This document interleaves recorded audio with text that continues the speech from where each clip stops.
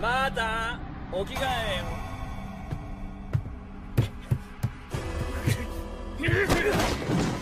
窓から出ろ。早く逃げろ。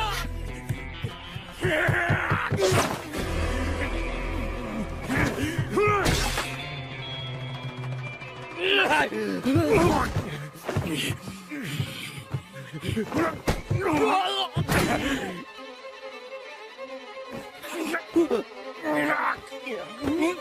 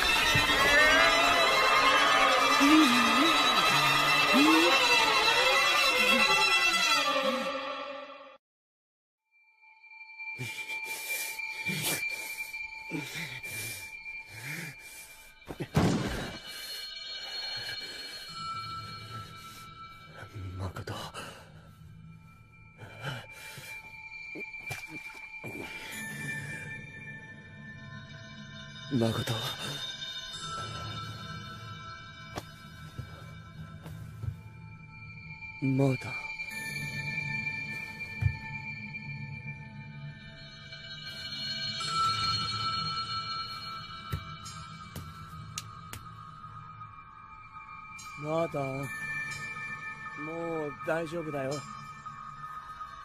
戻ってきな。まだ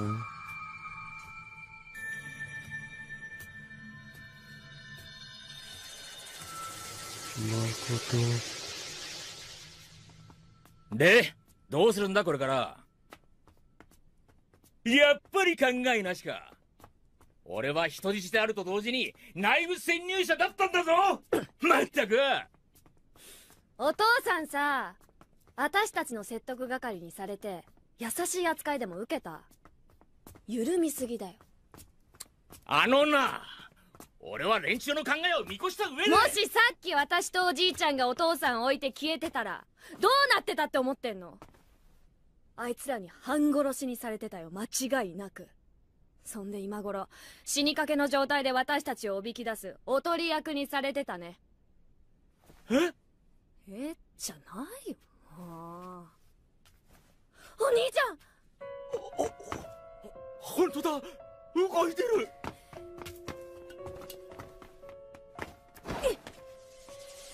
お兄ちゃん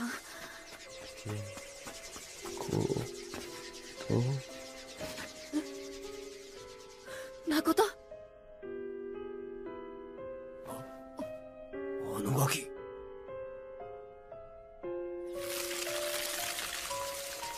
あれはこの世界で遊びすぎた人間の慣れの果てなんだと。おじいちゃん！どうしよう！お兄ちゃんが！ジュリー翼を止めろ！クラゲを引っ張らせ！でも今止めたらこのまま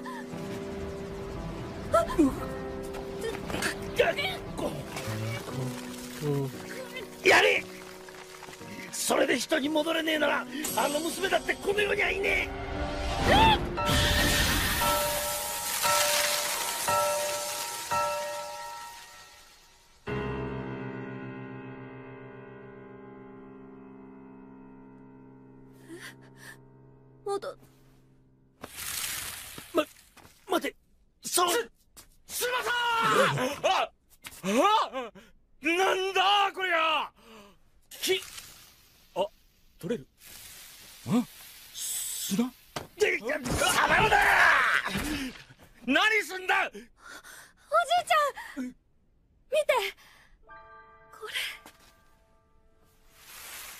体変わってない。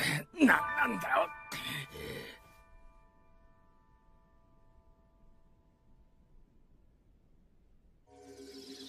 血液の流れのように玉ワニの流れを感じる。逃げられましたか？すみません。高文の言動が何というか微妙で判断が遅れました。瞬間移動する相手です。ある程度仕方ありません。湯川家に行ってみましょう。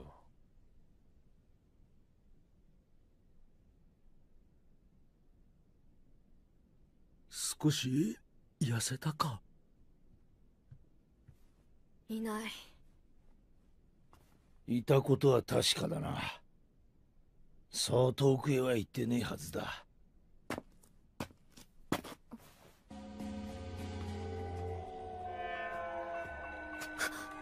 それ誠の。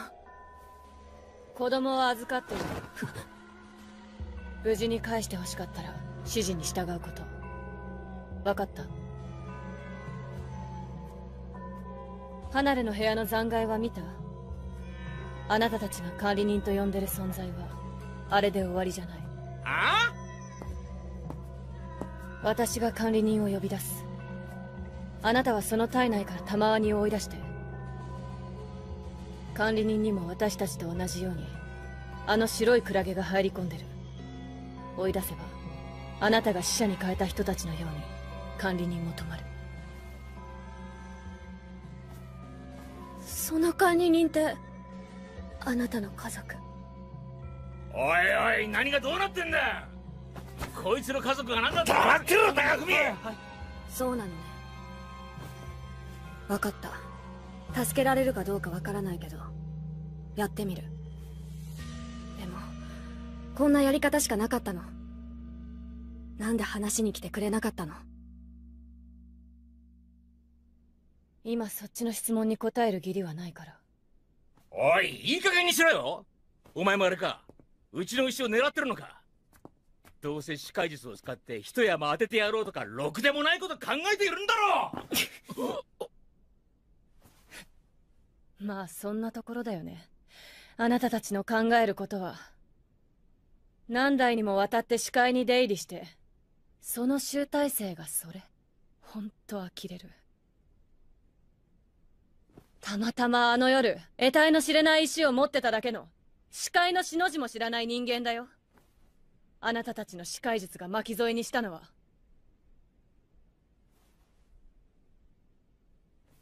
言ったよ会いに。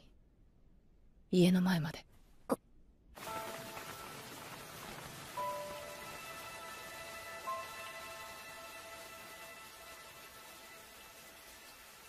で交渉相手を実愛会に決めた。なんで？あなたたちに話してどうなる？17年前の視界で消えた人間をここに呼び出せる事実にすらたどり着けないでしょ違う。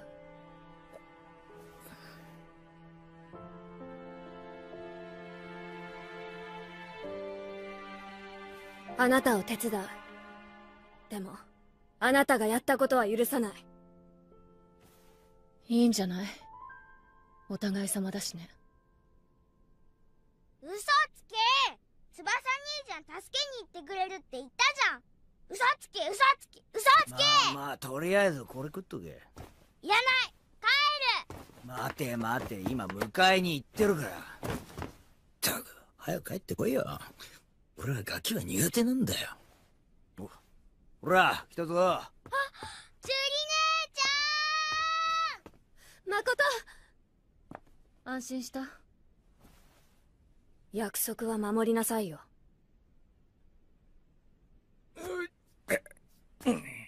そこでいい。下がって。あなたも屋上に行って瞬間移動でお孫さんをサポートして。いやわしはあんたの方につく。指示通りに動きなさい。狙い通りに飛べた試しがねえんだあんたを管理人から逃がすために飛ぶ方が役に立つ。ジュリもそうしろと言ってる。分かった。よう。出た瞬間を狙えよ。失敗しやがったら。分かってんだ。あっち行く。誠危ないから下がってて。危なくない。そっち行く。言うこと聞きなさい。怖えなバーカ。ジュリおばさん。あんたこそちゃんとその子守りなさい。かすり傷一つでも負わせたらただじゃ済まさないから。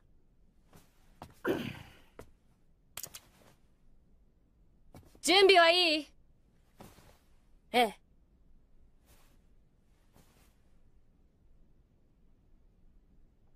じゃあ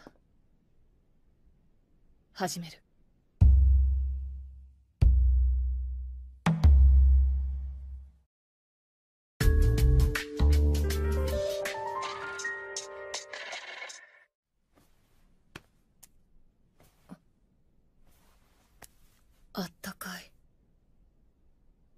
前だ生きてるんだから。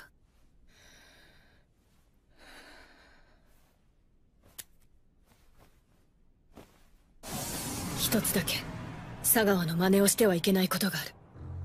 慎重にやってはダメだ。微弱な殺意では三人をまとめて呼び出せない。殺意は明確に。一気に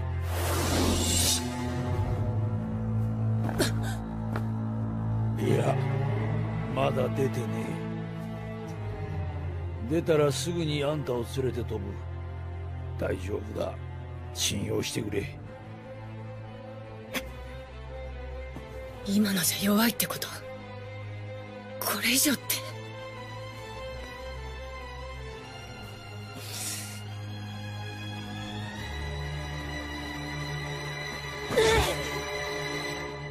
出てねえまだだ。いやまだだ。おいおい何やってんだよ。憎い奴のことを考えりゃいいんだよ。目の前にいんだろ。それともビビっちまったのか？出てね 冗談じゃない。ここまで来て呼び出せないなんて。ありえない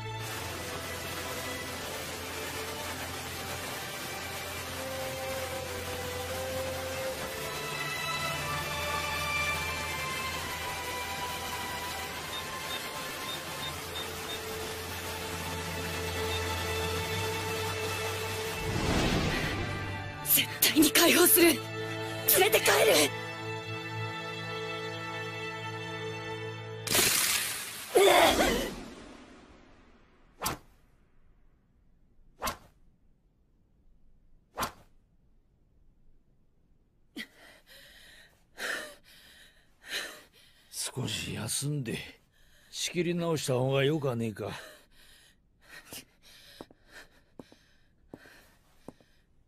休憩か？孫を早く返してもらいたいんだがな。じじいお前が変われ。もともとその方が話が早えんだよ。一人でいくらでも逃げ回れんだろ。ちょっと言ったでしょ呼び出すのは私がやる。いつまでかかんだ？佐川がここを嗅ぎつけるまでか。あんたがやりなよ。その方がよっぽど話が早いでしょ。できるかボケ。だったら黙ってなさいよ。時間かかって当たり前なんだよ。大体恨みも敵意もない赤の他人に殺意なんか持てないのが何やってんだ？普通だよいや管理人だっけ？どの程度の殺意なら大丈夫ってのほら今後視界に入る上でさ感覚として知っときたいじゃない？もし今ここで簡単に管理人を呼び出せるとしたらその人は頭おかしいよ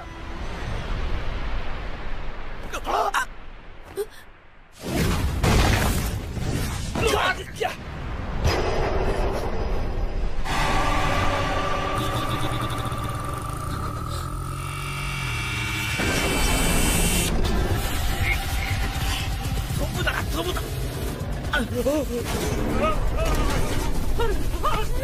カわしから逃げるな。えでっけと飛び乗れ。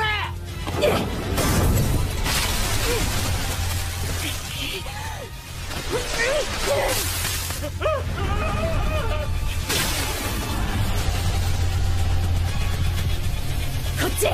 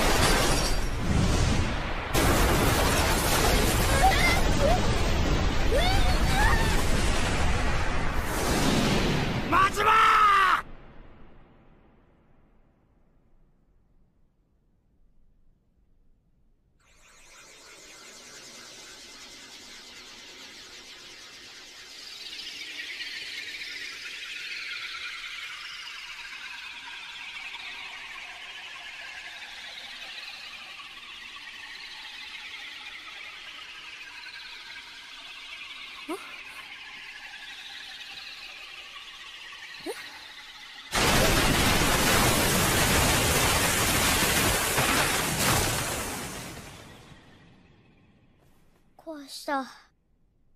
あ。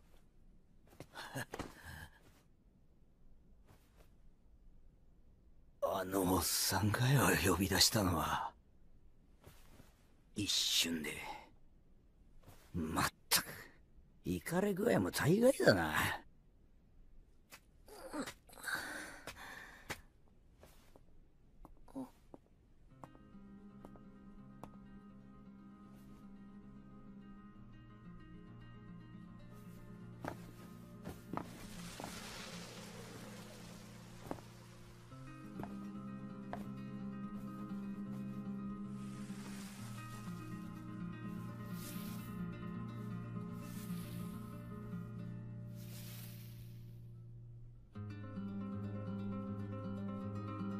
助けてあげたかった。会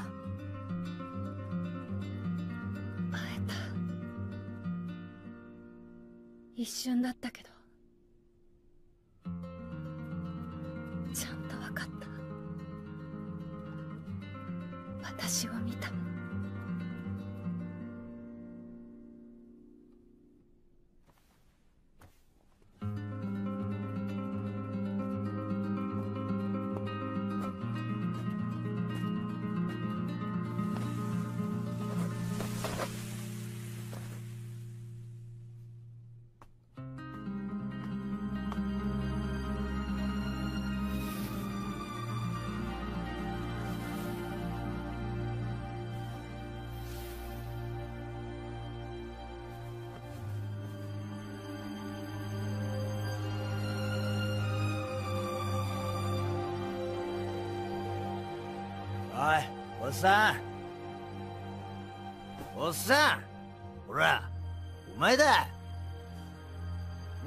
人出てきてねえのがいるからよ。さっきの調子でもう一回頼むわ。もう降りる。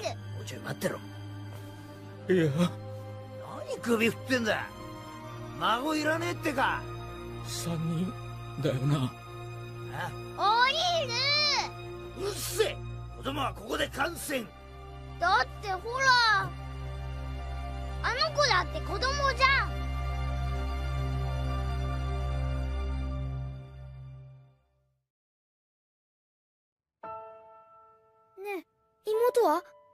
こっちだ陽介。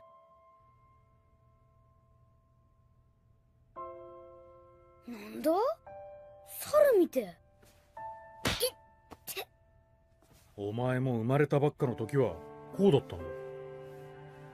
名前は決まったの？うーん。ねえねえ。僕が考えていい？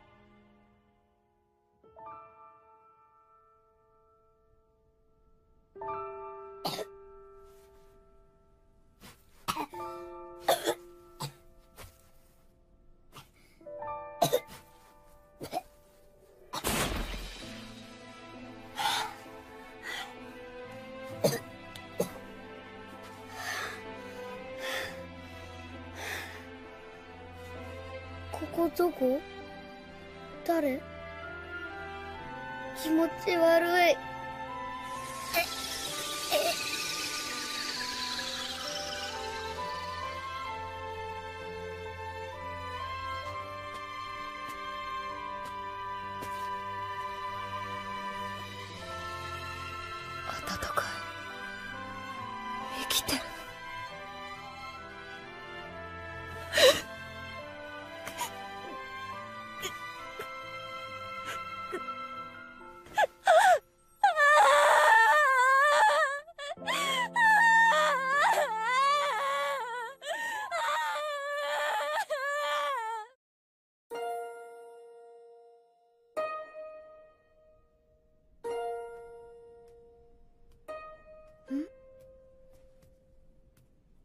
姉ちゃん？どうしたの？変な顔し痛い。よ痛い。あったかい。たたたたなんなの？話せよ。話せ。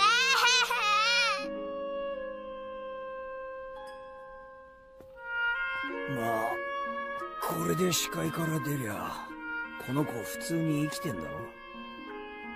よかったな。ジュリー。お前が責任を感じることはねえ。悪いのはわしだ。違う。責任はあったんだよ。この家に生まれた時からずっと。今までちゃんと向き合えずに来たけど私だってこの家の一員なんだよね。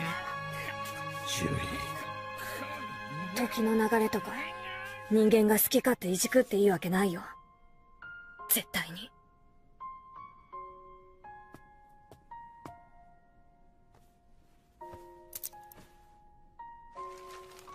術を解いて元の世界に戻ったらすぐ出発しろ。あとは埋めいや。埋葬して。まあその辺はまずは兄貴を病院に運んでからか。ありがとう。でどうするよこれから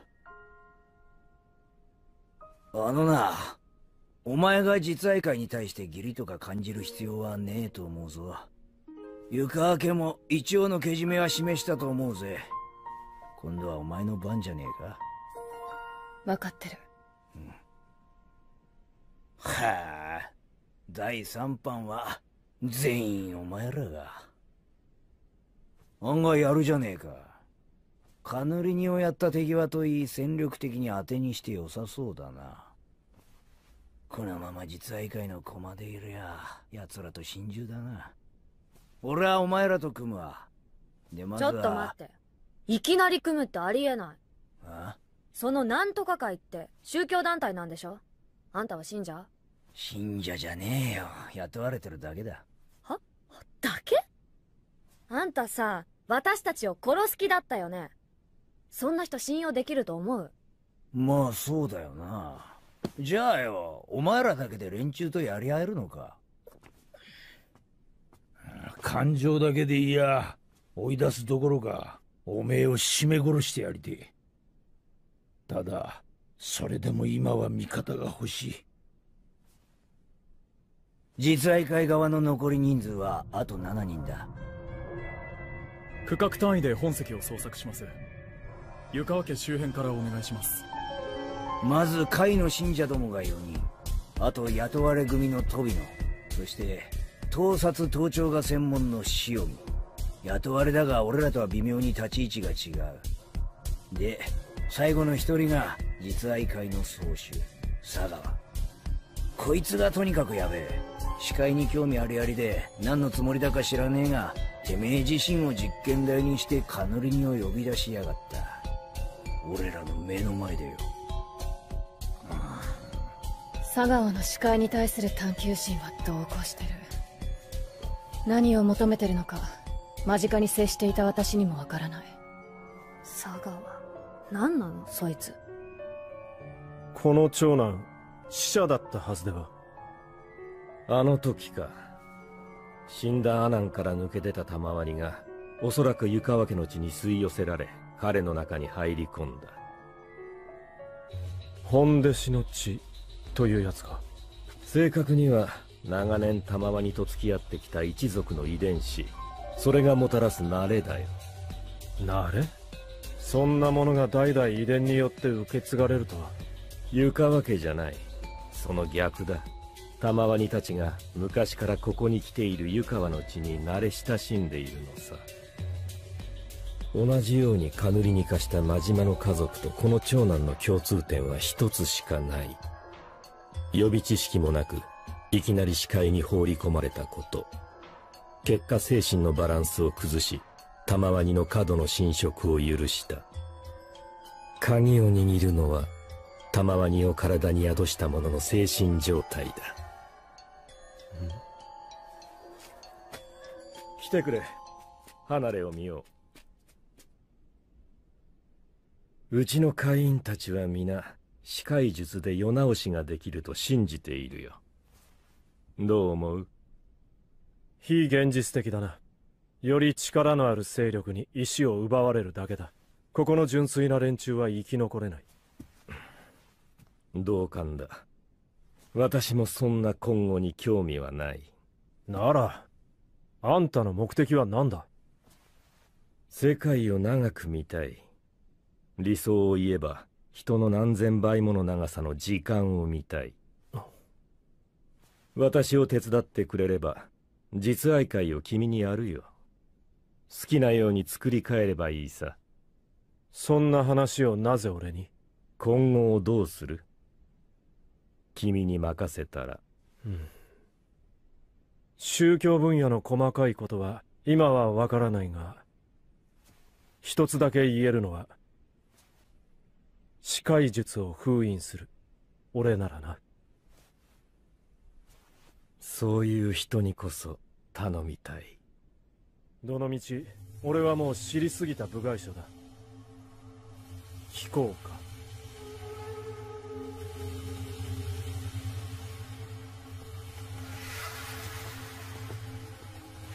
どうでした？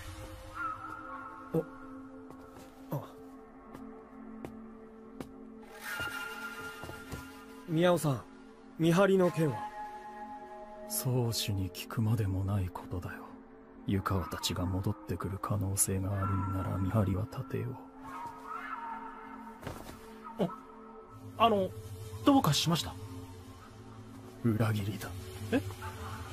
視界術をおもちゃにしてきた湯川家と同じレベルに。宗主は落ちようとしている。じ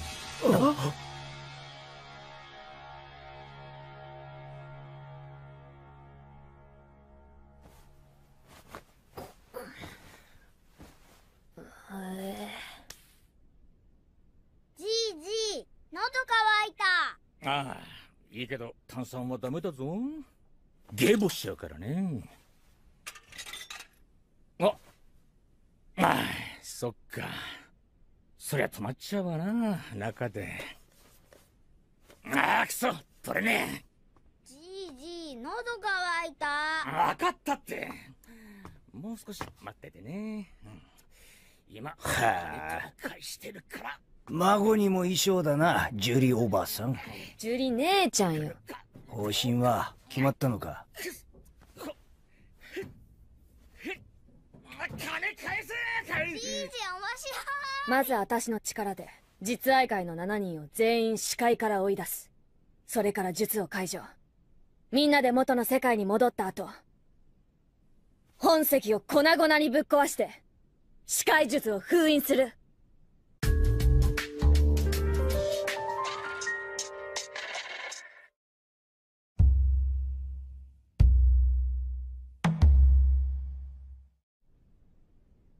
お父さん、誠お願いね。まだ子供だし、危険にさらすわけにはいかない。でしょ？もう、お前も無茶するなよ。わかってる。さてと。んじゃ、実愛会の本部とやらに、乗り込んでみますかなあ、あの宗教団体は、うちの石目当てに佐川が立ち上げたのか？いいえ、もっと古い。200年前には、すでに孔という形で存在していた。だけど明治の頃には、すっかり視界信仰は廃れたらしい。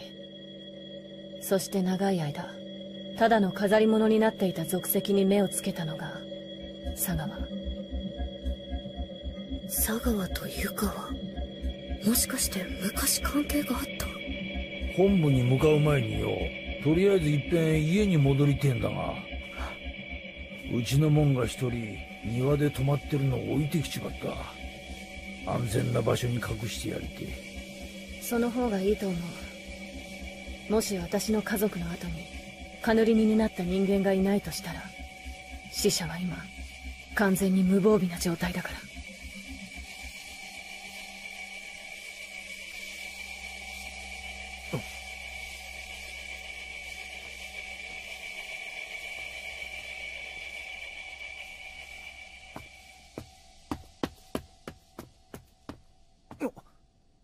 っちに全員来てる？ええまあ。他のメンツは？この周辺で本石を探してます。佐川さんは？湯川家の離れに。何か変わったことはあった？変わったことって？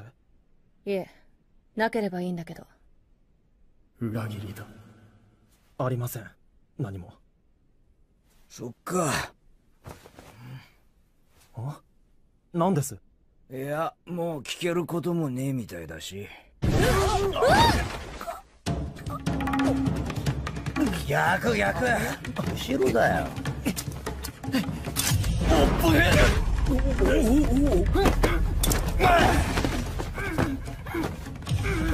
ほら早くやれ。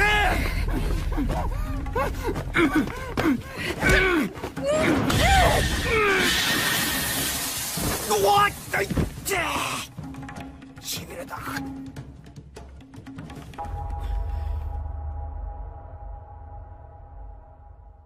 こいつがもうちょい機敏だったら死んでたぞ。真ん前に落ちてどうすんだよ。仕方ねえだろ。狙い通りにいかねえんだし。んねえ。それちょうだい。もしもの時のために。やめとけ時間止まってるせいかロックかかんねえし。こんなもんに頼ったら好きになるだけだ。お前のその手の方がよっぽど強い。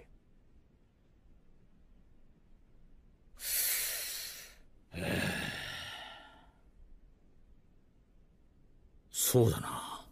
この視界術。やっぱり持っていた方がいい。たとえリスクがあろうとな。あいつら。俺に黙ってあの石を処分するつもりだろう。危険を伴う宝物ならいっそない方がいいってか？バカな！今回の騒動は親父がしくじっただけの話だ。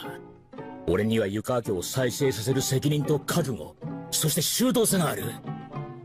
銃が人を殺すんじゃない。人が人を殺すんだ！そう力は正義だ！おしっこ俺は今の生活から抜けられりゃそれでいいんだよ。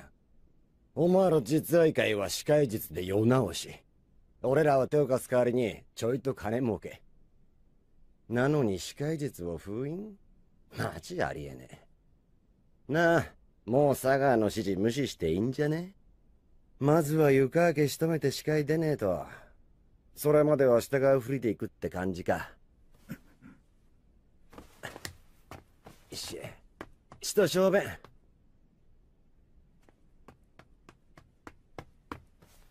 ん誰か来たのか？さっき思ったんですけど置いてあるとは限らないんですよね。あ？本席ですよ。ああ。でもそのやり方なら意外にパターンねえな。パッと思いつくのはあああ。例えばこんなところとか。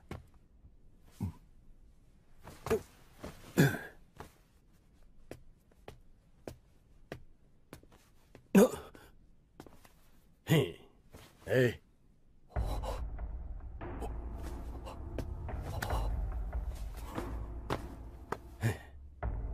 おいなんか言えやこの落書きは本当許せません。初めて触った。実愛界に伝わる経典。大円行記は全て一人の人間によって書かれたものだ。これまで数人の専門家に筆跡鑑定を出したが皆同一との報告をしてきた。専門家数人とは随分と疑り深いな宗教の経典は思想体系や価値観を神話や史実になぞらえたものが少なくない。だが大円行記は全て逆のものだ。思想を語るように装いながら創始者がその目で見た事実及び視界内での実験と考察の克明な記録だ。実験？大円行記の放射年代測定を依頼したことがあるその結果1項目が書かれたのが1300年代後期なのに対し最終項は1800年代後期。創始者は500年生きそして書いたのだ。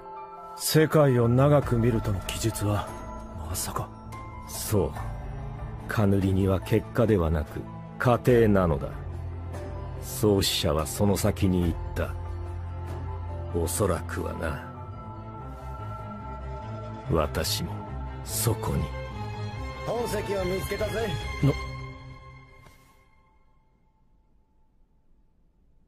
よく見つけられましたね。飛野さん勘がいい。いやいやそれほどでなはい。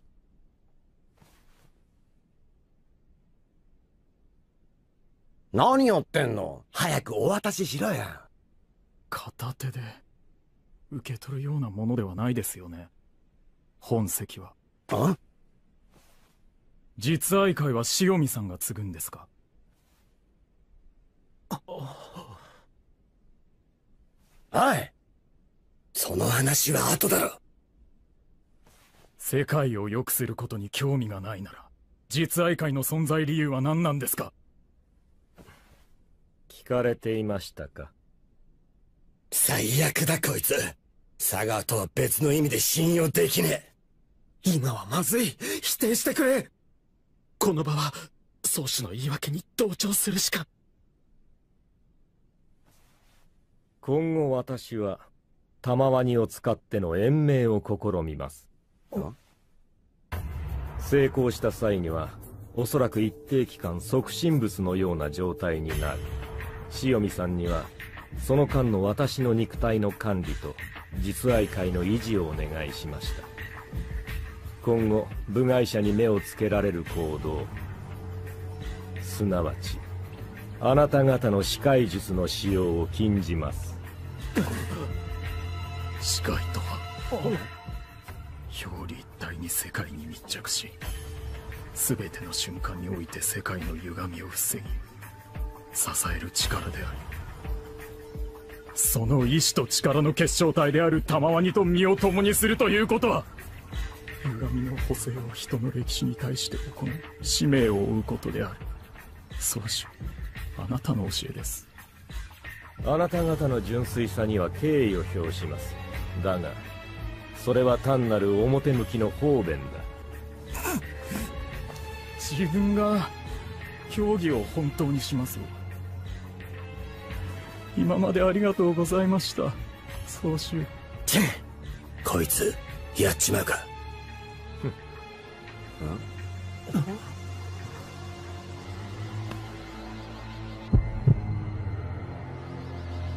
後期かもしれないな。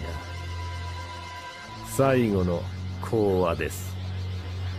賜りの完全支配とはどういうものなのか。うまく実演できるかな？最後の講話です。賜りの完全支配とはどういうものなのか。予定より少し早いがうまく実演できるかな？少しでもバランスを間違えれば落とし穴に飲み込まれ二度と戻ってこられない。賜りの完全支配とはすなわち自我を残してのカヌリニカです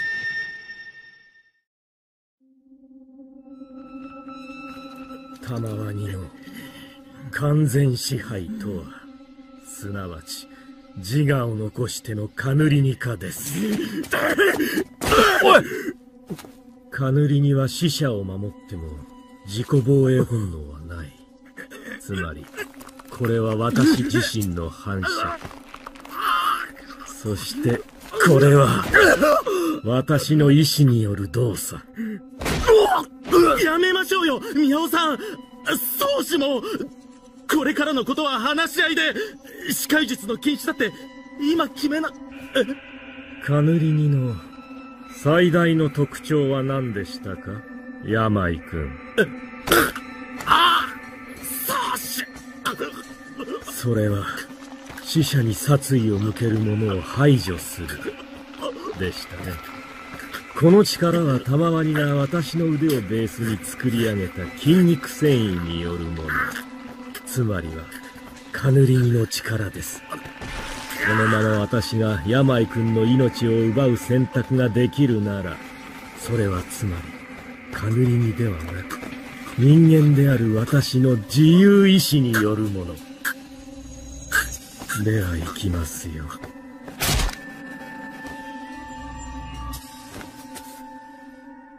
塩見私は今彼を殺したか。あ殺した。そうかよかった。思い込みや残留思念ではない。私の自我は保たれている。逃げても構いませんよ。この状態でどれほどの速さが出せるのかそれを測る良い機会になる。飛野さんそもそもカヌリニとは何だと思いますか？わかりませんか？あなたは我々と接してまだ日が浅い。では田辺君。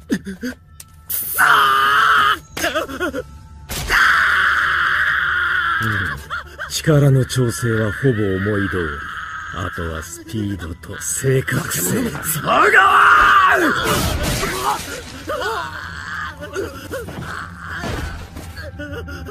これも悪くない。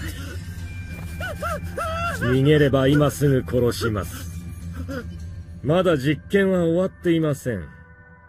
あなたにはそれに協力してもらいます。ねえ何だったのかな？今のギャーって声。よく聞こえなかったけど。知るか。俺に聞くな。仲間割れか？だから知らねえっての何か不測の事態が起きているのは間違いないと思う。正面から行くのは危険ね裏から回りましょう。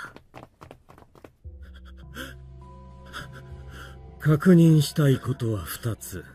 一つは今この視界にカヌリニがいるかどうか。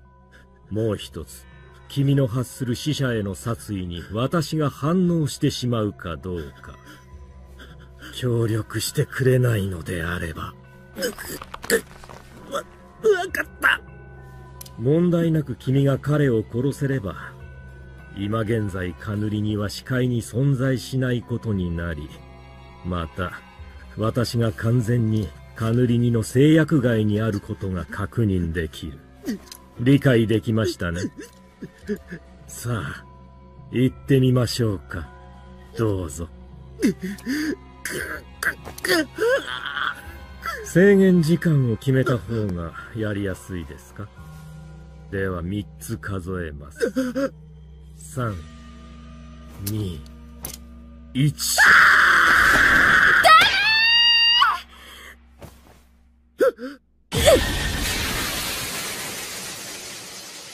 羨ましいよ。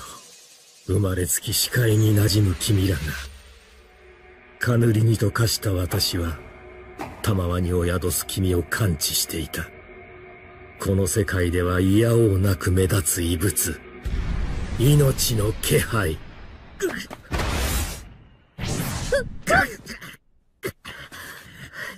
あいつの背後に回って隙をついて追い出す。分かった。あれ？何やってんの？もう一回ちゃんと狙って！狙っとる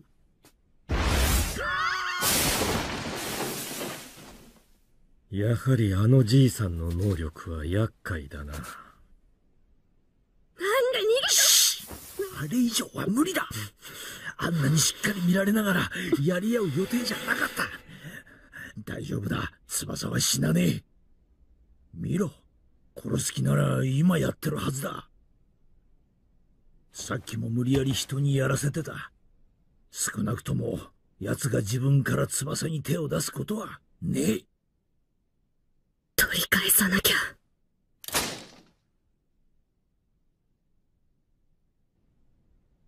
今後も司会術を使い続けるには絶対に本石を手に入れねばならん。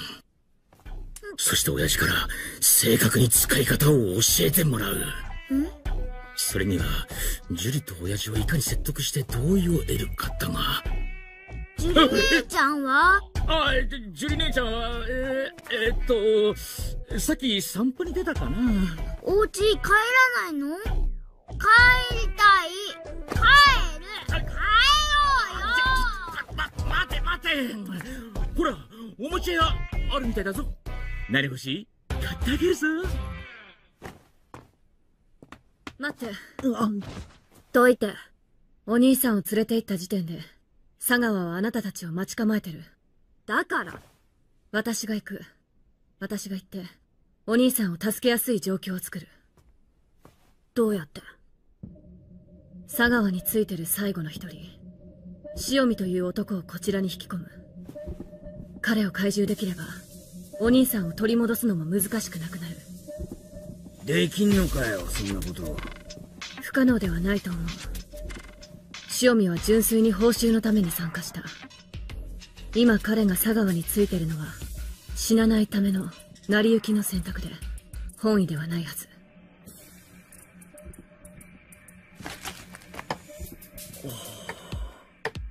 頭から食うかと思った。うん。噛み砕けないこともないかもしれんが効率が悪い。これでも一応味覚もある。じゃあ醤油がいるか？いやいい。単なるエネルギー補給だ。ゆっくり味わうつもりもない。なぜ長男を連れてきた？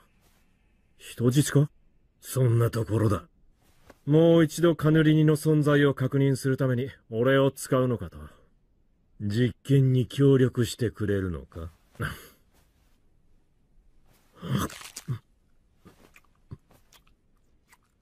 あの時の次女の行動。カヌリニがいないがゆえとも取れるし単に家族を助けるためとも取れる。どちらにしても状況は次のステージに入った。皇庫の憂いを早めに取り除いておくための道具だ。こちらには長男と本石二つのアドバンテージがある。皇庫の憂いか。そんなものが今のあんたにあるとは思えないが私は慎重な男だよ。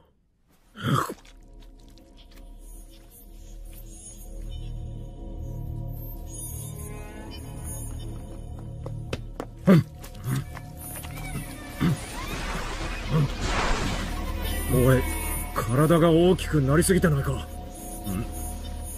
なっているな。これ以上は無駄食いか。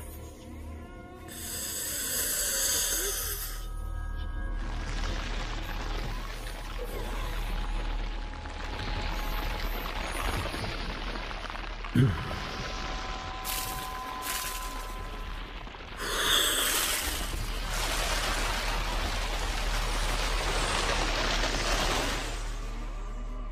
うやった？玉ワニとのパワーバランスを戻した。カヌリニカは思考からの解放自分を投げ出す感覚。逆は自我の増強自身の確認。玉ワニを体の中心に集めるイメージ。今のは摂取したタンパク質を玉ワニに勝手に使われて巨大化したってところか。理解が早いな。この短期間でここまで玉ワニをコントロールできるものなのか？視界が佐川を進化させたこの男が視界を変えた。どうした？気配がする下に誰か来たな。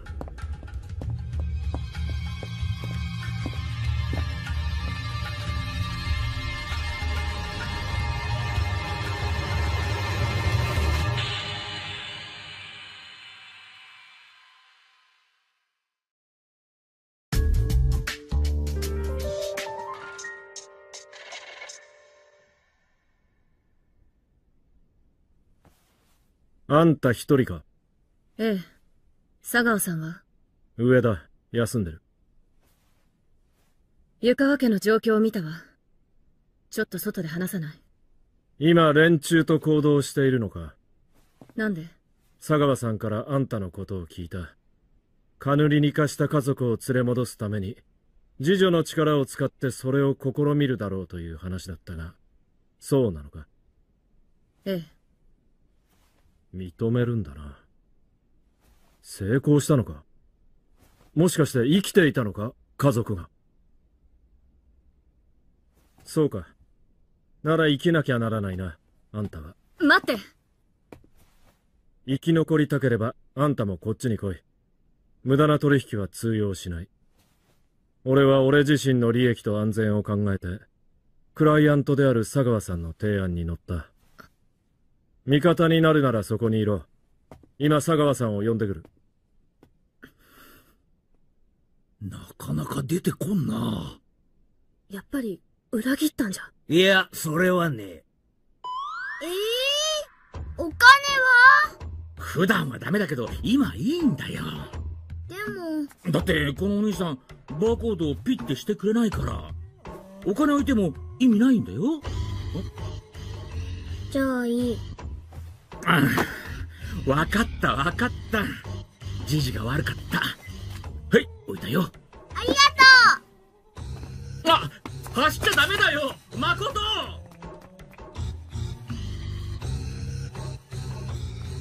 そうだ。もう答えは出てんだ。ジュリと親父を説得するのに、今圧倒的に足りないのは、俺自身の発言力。当然だ。嫁入り前の娘を前線に送り出して、自分は安全地帯。これじゃ誰も話は聞かん。だが、俺ならできる。俺の才覚と人徳があればじいじ、どうしたの？トイレ？待ってろ誠。お前の未来は明るいぞいない。敵対か。いや、まだ近くに気配がある。こっちだ。動きがねえな。本当に一人で行かせてよかったのか？なあ、おい、大丈夫なのかよ、あいつ騒ぐな。あの娘が言い出したことだ。いつまで待てばいいんだ、じいさん。ちょっと行ってヤバそうだったら、マジも連れてピュッと戻ってこいや。このバカ野郎。それこそうまく引き込んどる途中だったらどうする？台無しだろうが。いいか、昔から銃なればすなわちこれを囲みって言ってな。戦の格言で、籠城してる相手を攻めるには、本当なら10倍の戦力が必要だって話なんだ。ほう。昔からっていうか、おとといのテレビね。孫子の兵法。かあ、やっぱ頼りになん。ねえ。なん。だと静かに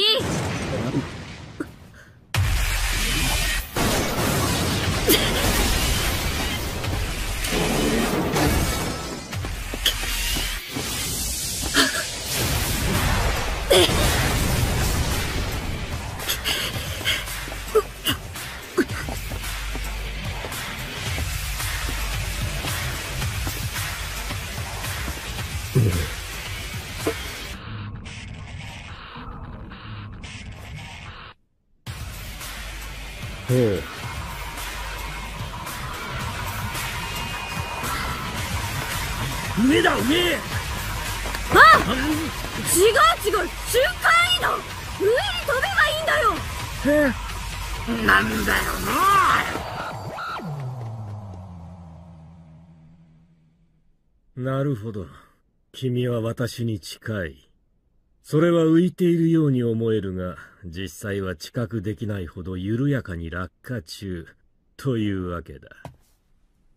通常の世界から見れば、我々は尋常ならざる速さで動いている。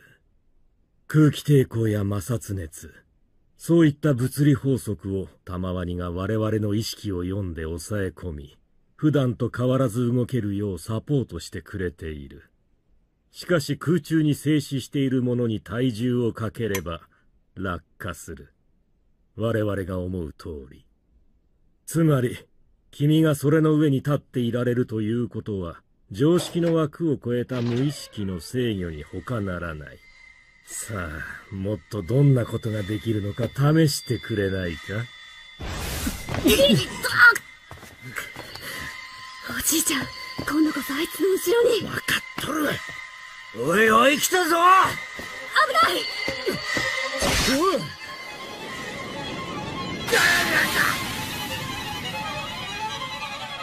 てめえ。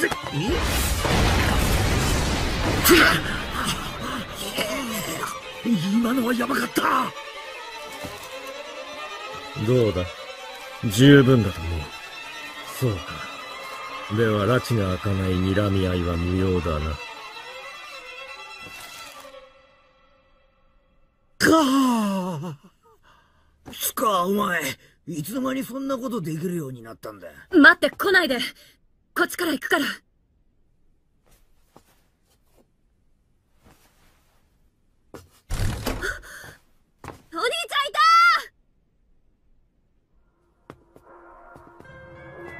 長男を置いてきてよかったのか構わない。餌の役目は果たした。連中は彼を安全な場所に隠そうとするだろう。その間、こちら側の時間が稼げる。二段構えの人質だったのか。そういうことだ。すまねえないえ。どうして佐川たちはあんなにあっさり引いたの？あの状況、佐川たちにとってはチャンスだったはず。少なくとも、私と佐古君は殺せた。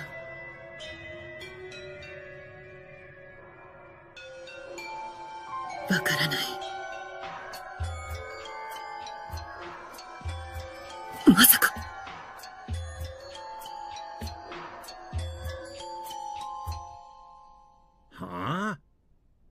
わしの血だあんな持ってかれたところでどうってことはねえだろう。でも、ないよ石がない佐川たちに取られたか。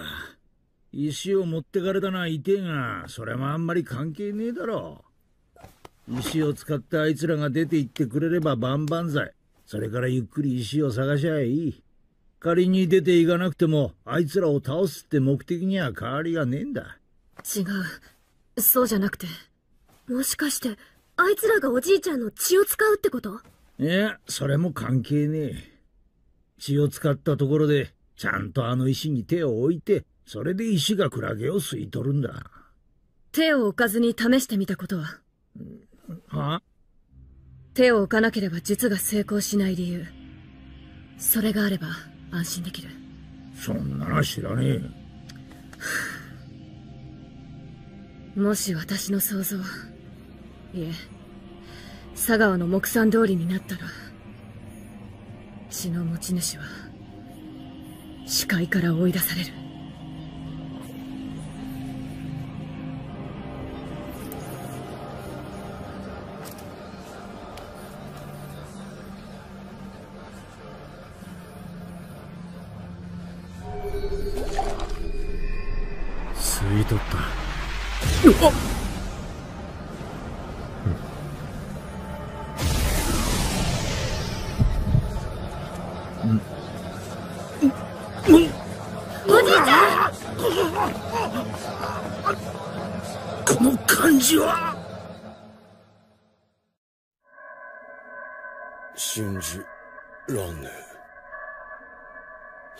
死ぬなんてマジでありえねえ。そういうの他のカスどもの役目じゃねえの。俺なんでこんなとこ来たんだよ。おい誰か助けろよ。え？マジで死ぬのこれ。くそ。死にたくねえ。帰りてえ。マジ死にたくねえ。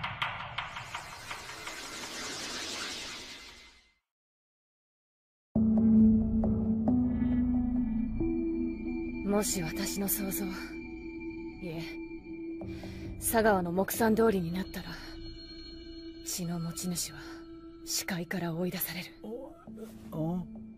確かに佐川から見て一番めんどくせえのはジジイかもな瞬間移動抜きの次女はロケットのねえ核弾頭みてえなもんだ。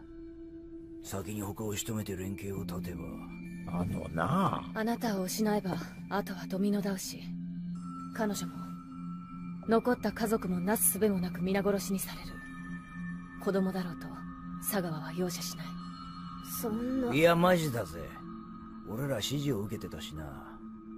湯川家全員一家思想扱いにしろってよつうわけで改めて確認しときたいんだけどよ。お前らって人殺せる？家族の命守るために。吸い取った。離れよ。巻き添えを食う。ねえ探すってどこ？とりあえず佐川たちが歩ってった方を片っ端にだ。他にやるようあるかよ取り越し苦労だと思うがな。どうかした？いやうんでもあれだな。石は早めに取り返した方がいい。あれに万一のことがあったら全員視界から出られなくなっちまう。厳密には全員じゃない。出るだけならもう一つ方法が。おじいちゃん感じは。クラゲが。まさか。おいおい。えいごお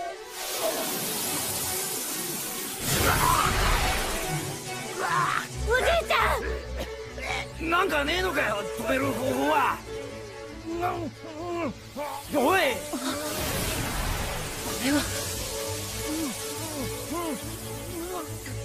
手遅れよたまにをたどっていけば石があるけど佐川もいる。見つけ出したところでもう時間が。おじいちゃん石のところに飛んないや無理だろ。場所もわかんねえのに。でできると思えばできる。石を思い浮かべるの。重さとか形とか色とか、確かに石単体でも一つの場所と思い込めば。お願い頑張ってただそこへ飛ぼうとするだけよ。飛んで。飛べる。着地の音がしねえ。どこまで飛んだ。音？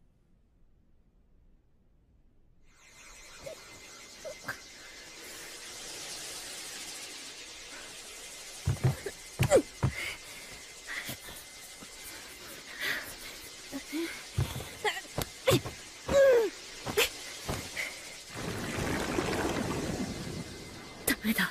血が完全に染み込んで。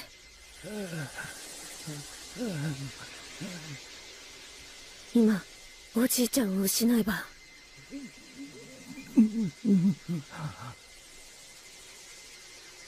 いいよね。私が返してあげられるし。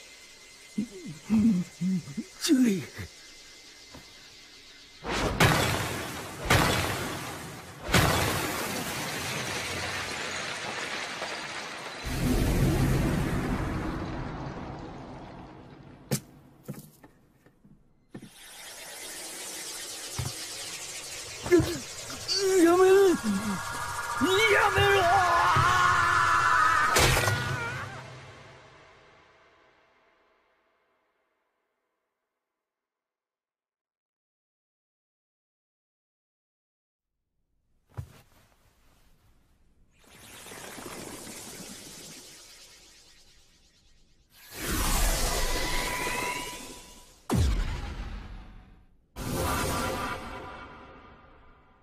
戻った。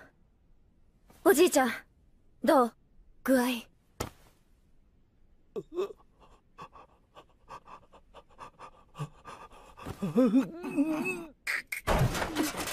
来た。逃げようおじいちゃん。飛んで！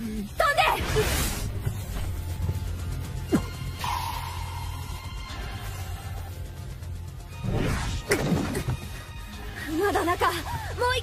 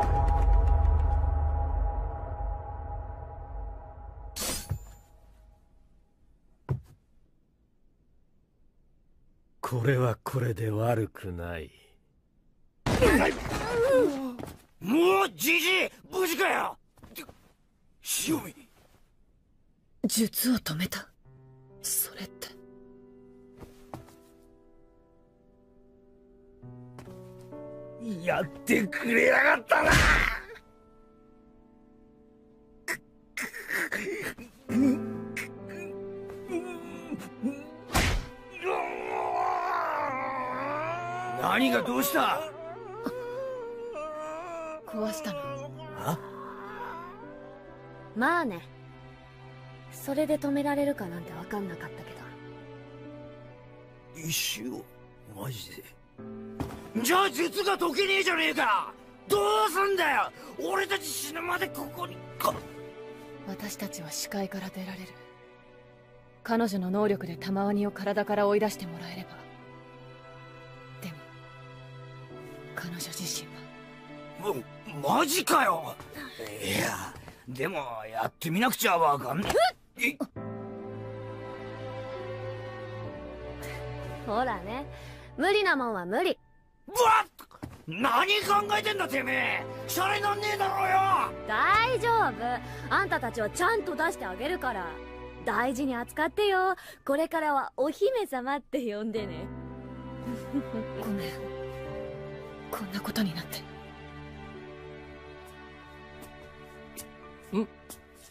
どうしたの？またおしっこ？なんでもない。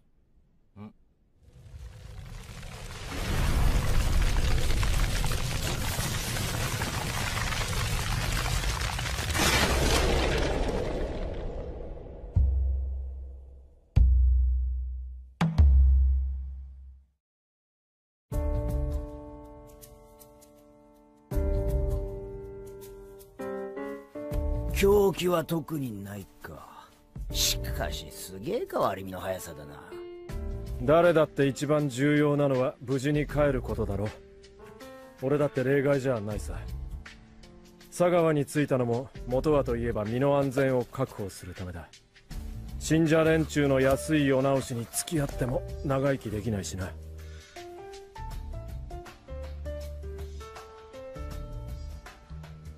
本籍はなくなった。佐川と二人で生き延びてもしょうがない。ならば願える。とっさにそう判断した。佐川もそれを読んですかさず俺を攻撃してきたな。なるほど。その佐川だが奴は他人の居場所を察知するよな。距離と精度は。答える前に俺はちゃんと視界から出してもらえるのかなそりゃ姫様の気分次第じゃねえかな。せいぜい役に立った方がよくね？分かった。まず察知すると言ってもそれが誰かというところまでは分からない。100メートルが目安かな。その辺りまで近づいたところで大体の人数が分かり始める。逆にどれだけ遠ざかっても気配と方向は悟られる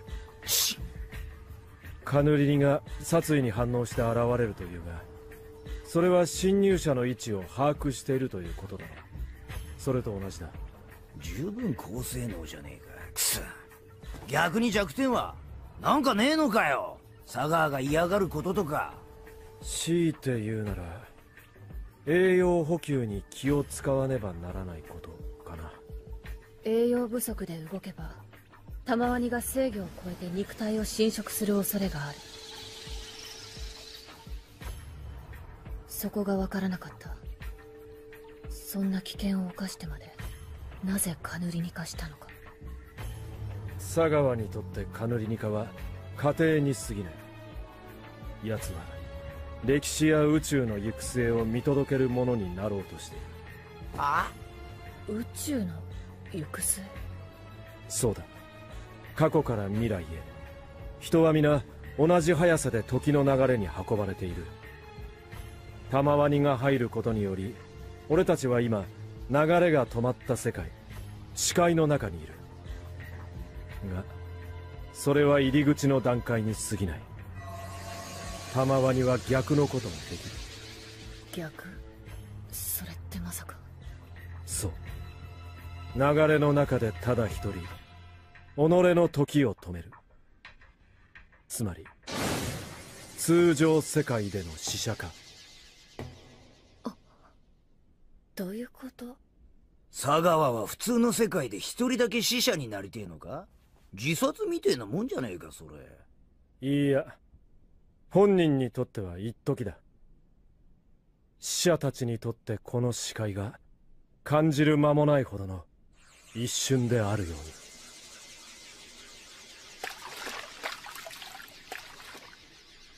佐川が玉割りに求めるものは全ての生物を縛る流れの速度からの完全な自由。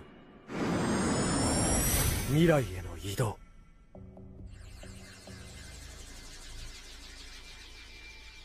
移動した先で死者化を解けば佐川の望む未来へと着地する。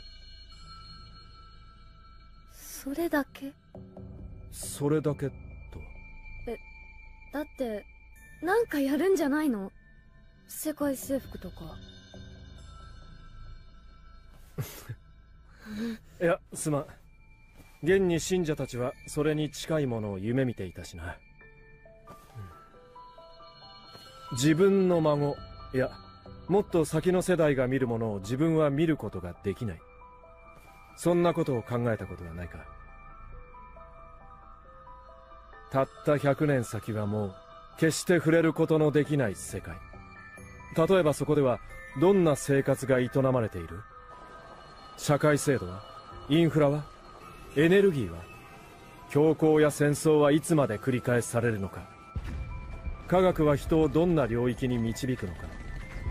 どんな形で人の世界は終わりを迎えるのか？そしてこの宇宙に終わりはあるのか？あるとすれば次の宇宙は佐川が目指すのはそういった真理を果てまで見届けること。たかだか数十年の征服なんて比較にもならない。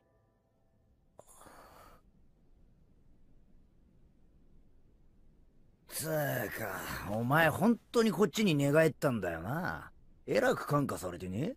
いや俺は凡人だからな日常に帰ることを犠牲にしてまで付き合えん。未来を見に行くだけ？ん？じゃあもし今日のことを忘れるって言えば佐川が私たちを殺す理由はなくなる？そんなこと。おいおいおいこの後に及ん未来なんて勝手に行けばいいじゃん。うちには関係ない。勝てるならいいよ。絶対。でも家族の命までかけるような戦いをもし避けられる道があるなら。ないな。もう刺しませんと蚊に言われたところでそれを信じるより潰した方が早い。それくらい俺たちは交渉の対象にならない。生きる目線が違う。でもそれに佐川は戦いを望んでいる。格闘や殺戮が賜りの操作法を覚えるのに効果的だからだ結局やるしかねえか。けどあんな化け物どうするよ。じいさんはあの通りだし。ねえ。止まってるね。これも樹里の仕業か。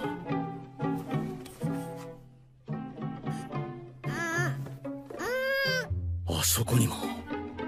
これであと何人だいやいやいや感心してる場合か。まずは親父の説得だ。分かっているさ。司会術で金や力を得るのを親父も樹里もよしとはせんだろう。だがな俺は俺はこの家に蔓延する無力感を吹っ飛ばしたい。何でもいい。ネズミ小僧みたいなことをやったっていいし世の中の流れに一矢報いることだってできる。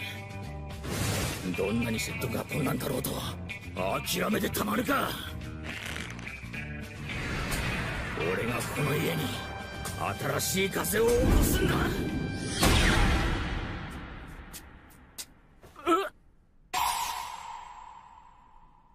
死んで。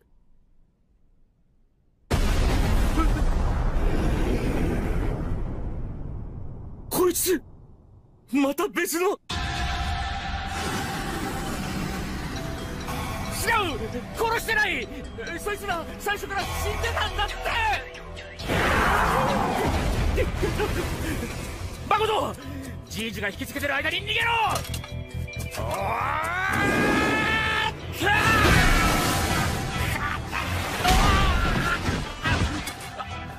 あこ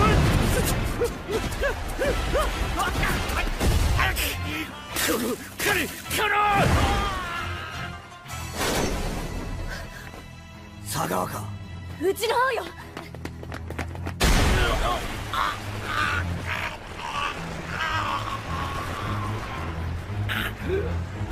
めろ。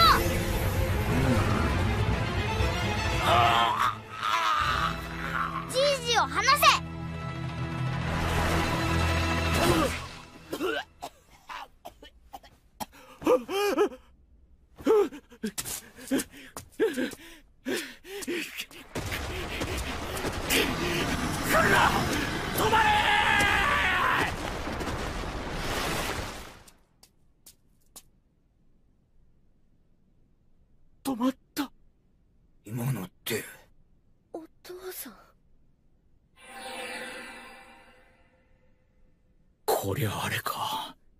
ジュリア親父みたいな特殊な。ジュリ姉ちゃん。ね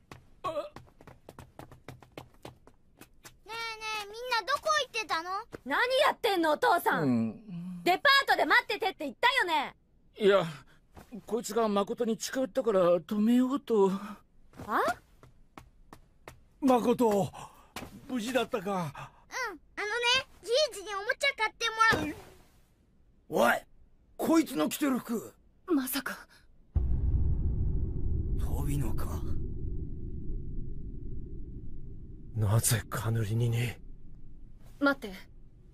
誰も死者に殺意を向けてないよね。佐川のカヌリニカが視界に何らかの影響を及ぼしているのか。んなことよりもよ。こいつさっきこのおっさんの声に反応してなかったか。俺？ああ止まれって言った瞬間ピタッと。えそう。気のせいでしょ。管理人が人の命令聞くなんて。いやいやお前らずっと普通の人間にできねえことやって俺だよ。俺が止めた。なんかこう今までにない感覚だったな。うーん。じゃあ見せてみて。え？お父さんそれを操れるんでしょ？やってみせてよ。ああいいとも。さてとどうするかな？よしあそこへ登れ！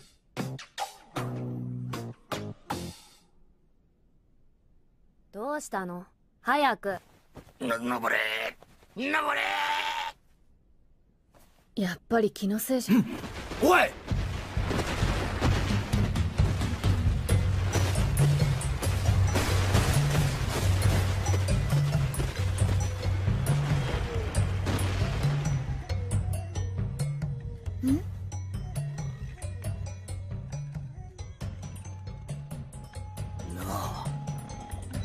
あいつを佐川にぶつけてみるってどうよよし！あそこへ登れ！どうしたの？早く。の登れ！登れ！やっぱり気のせいじゃん。おい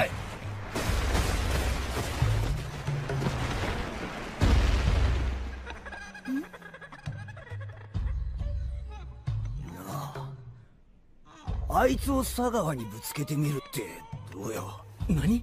ぶつけてみるって？かなりになんだろ？あれ。あいつが入れば戦力は5分以上だ。おいおいおいおい。飛び野の野郎だってリベンジしてえだろうし文句はねえはずだ。もしかしてこの流れは？でも。あのおっさんが操れんだろ？使わない手はねえぜ。俺も賛成だ戦力が多いに越したことはない。発言力アップの大チャンス任せろジュリ一家の主として家族にあだなすやつを俺が倒す。なうーん。分かった。じゃあそうしましょう。よし来たこれ！じゃあとりあえずあいつを呼び戻してとおーい。戻ってこい。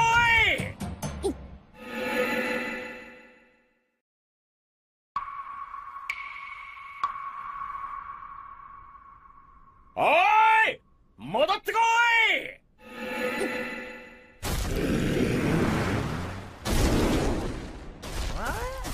今度はすんなり来たなあさっきは調子が悪かったんだねえあなた誠を預かってくれる安全な場所に避難させてほしいの？えでも。そうしろよ。ガキが心配で親父が全力出せねえんじゃ意味ねえから。ガキって言わないで。わしからも頼む。本当は樹里も避難させたいがこうなった以上せめて誠だけでも。おじいちゃん。いやちょっと待って。何にも言うな。分かっとる全てわしが悪いんじゃ。後で好きなだけ罵倒でも何でもすればいい。いやそうじゃなくて。ななんだ？誠の保護は俺の役目だろ？は？あちょっと何言ってんの？誠を連れ回しながら戦う気？いやそうは言ってない。安全な場所までは下がるよもちろん。それでどうやって戦うんだよ？できるよ。遠くからだって俺ならできる。娘を矢面に立たせてか？こいつは真っ先に突っ込ませるのが上等策だろ。戦力分散させてどうすんだ小さい子は守らんといかんだろ。うもともと誠の保護は俺の役目だ。この管理人は俺が孫を守るために使う。ねえ遠くからってどれくらい？遠隔操作が可能なら開けてるところにさえいれば問題ないと思うけど。どれくらいの距離までなら操れるの？えっとそれは家ん中とかに隠れられたら意味ねえじゃん。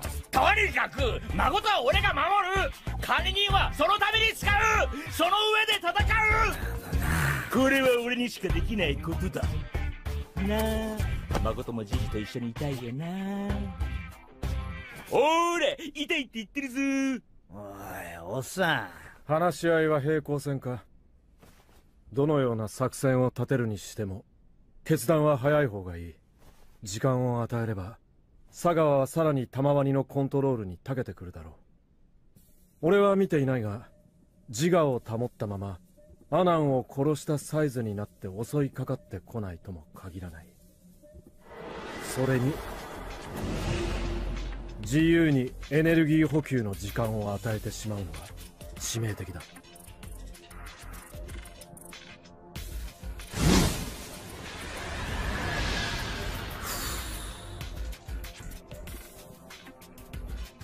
この体でも以前のように動きが切れるようになった。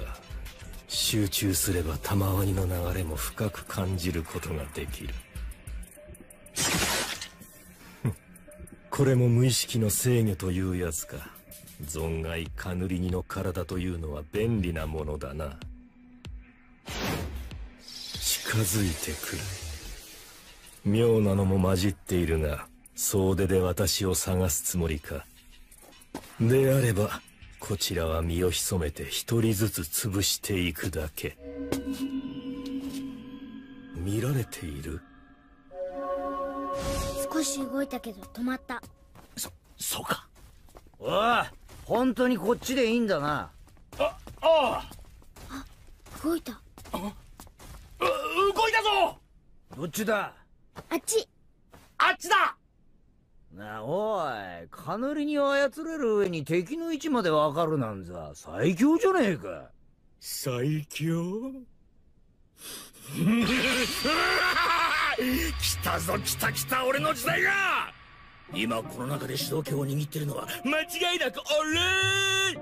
つまり視界術を使う決定権ももはや俺のもねえじいじ？ああ悪い奴がいる場所がわかるのもあいつを操っているのもお前だよ誠あやっぱり？でもこんなことジュリお姉ちゃんに知れたら怒られるだろう？ん怒られる。うだから本当のことは大人になってから言えばいいんだ。敵をやっつけてみんなを守った影のヒーローは自分だって。影のヒーロー？心配するな誠。お前の未来は明るいぞ。それ前にも聞いたよ。やはりトレースされている。これで互いに条件は対等。逃げも隠れもできないというわけか。いいだろう。ならば丁重に出迎えてやるとしよう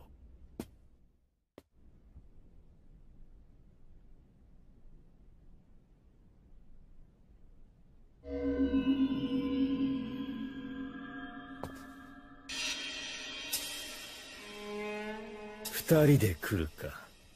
まあ当然だな。気配を悟られてると知って隠す素振りもなし。というわけだな。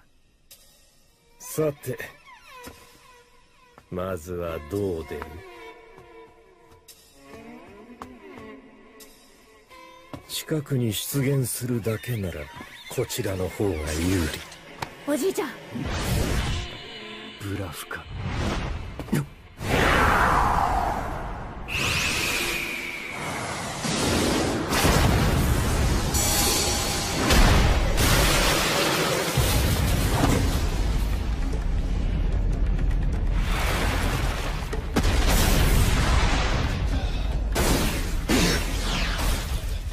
の服。本体は飛びのか。惜しいもう少しだぞ誠。誠？あここは危ないからもう少し隠れていようね。え？止まった。おいジュリ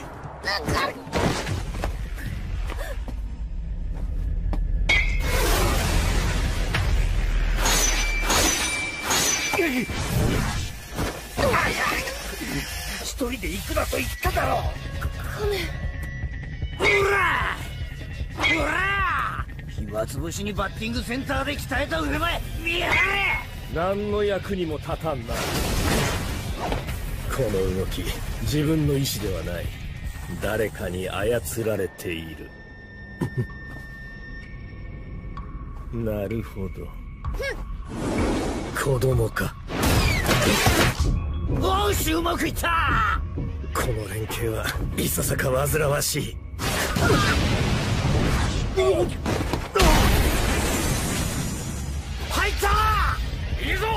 そのまま行け！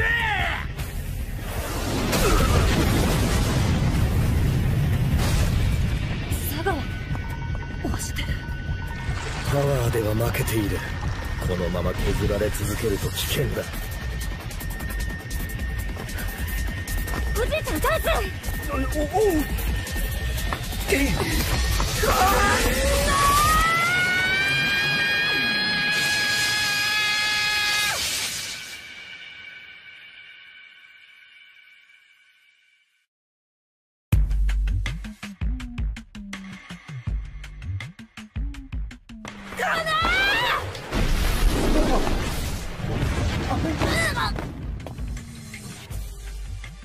ま持久戦は不利。カヌリニを操るあの子供から片付けよう。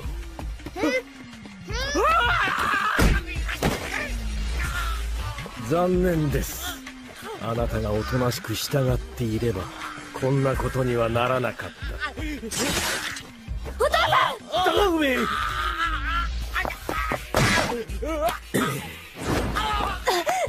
あなたには物理的作用の制御を使っていろいろと試してほしいことがある。もう少しだけ生かしておいてあげますよ。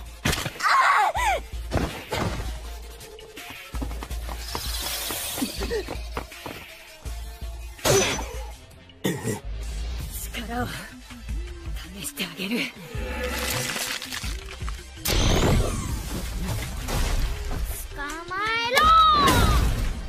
何？あのガキ。誠？やっぱり。いやバレたか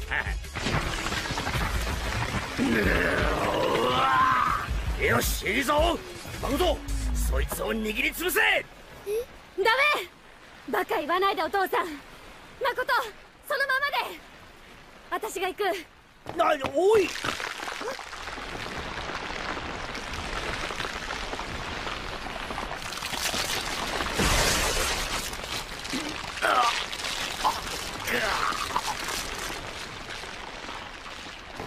なんだありゃ。お体がでかく。あんなに質量を増やしたらエネルギーが絶対的に足りない。今佐川の体は限界を超えてるはず。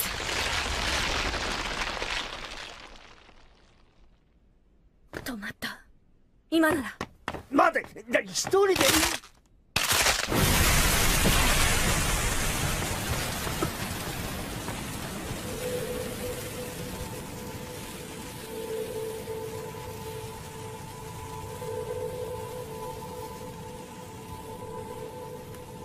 ザガは？まるで絞りかすのように。ひょろひょろなった。マドもう一息あいつを捕まえるんだ。食べる者がいる。逃げれば終われ。消耗あ食べる者がいる。食べる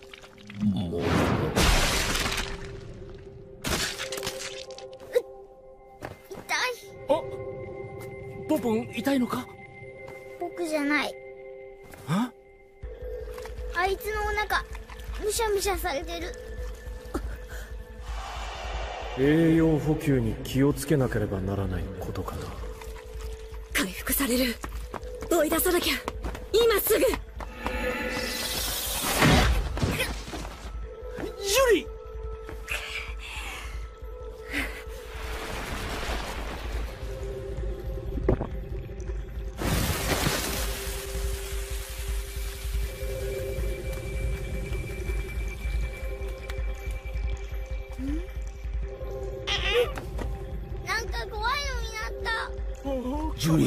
大丈夫か？大丈夫。向こうはそうでもないみたいだけど。あれは回復じゃない。表面を覆っているだけ。体は弱ってる。逃がさない。ジュリ大丈夫か？真島。私は大丈夫。それよりも追って。早く。ああボケっとするな。行くぞ。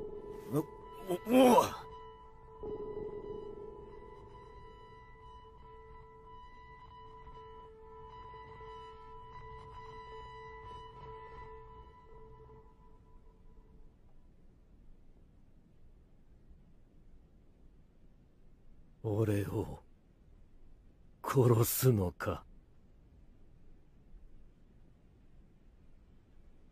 生きている者を視界から追い出しお前一人ここに残る。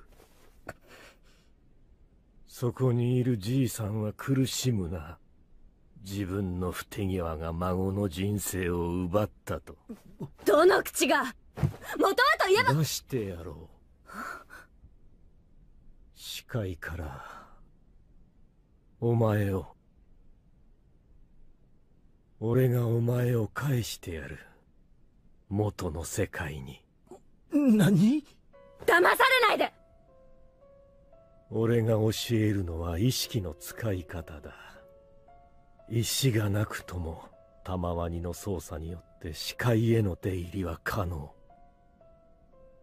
その域までもう少し。確かな予感だ体中を巡る玉ワニの粒子の渦を感じる。感覚を研ぎ澄ませば血流がくすぐったいほどだ。お前をその域まで導く。そのための意識の使い方をレクチャーしよう。本当なのか？そりゃ本当に石なしで。嘘よそんなの。口車に乗せられないで信じるか否かはお前たち次第だ。信じるということはそもそも敬意や理論とは別次元。信じることでうまくいくこともある。それまでの固執や情念を断ち切ることすら可能にするのが信じるということだ。少し疲れたかな。柄にもなく宗教家っぽいことを言ってしまった。そういえば宗教家だったね。狂人にしか見えないけど。いや俺は自分をつくづくただの人間だと思っているよ。本当に。狂うこともできなかったただの凡人だ俺の家は古くから続く民間信仰を母体とした宗教団体の宗家だった。それでは今日は信仰と人の心についてのお話をしましょう。幼い頃の俺は毎週同じ場所で信者たちに教義を説く父を見てまるで柱のようだと思った。人を支え道徳を支える見えない柱。宗教の数だけその柱があってそれらが世界を支え人を守っていると。その頃の俺は純粋に信じていた。淳二君。おはよう。おはようございます。おはようございます。おはよう。おはようございますご主人は休日出勤。大変だね。淳二君今日サッカークラブ何時まで？ないよ。休みになった。やった！一家で入会している会員の子供が学校の外で付き合いのある唯一の存在だった。家の中に宗教があるという共通点。特別な存在だった。笑ったんだけど取れなくて。ああ中まで行ってる。洗剤使った？使ってない。嘘つくなよ。化学物質はいけないって知ってるだろ？ごめん。明日外袋の交換日じゃん。お返しの時にバレるよこの匂い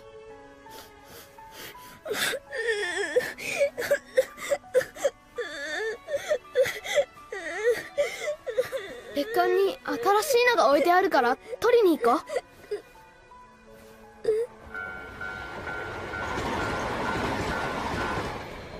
お返しの時だけ新しい方を出して汚しちゃった方は大事に持ってれば大丈夫だよ。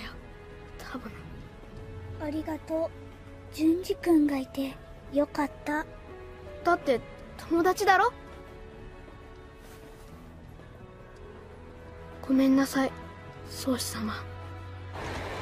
罰は僕に与えてください。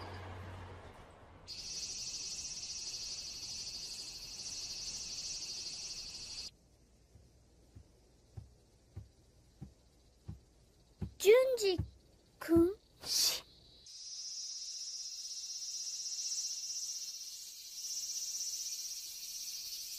行った先で見つけたものは新規会員用に発注したお守りと互いの親の地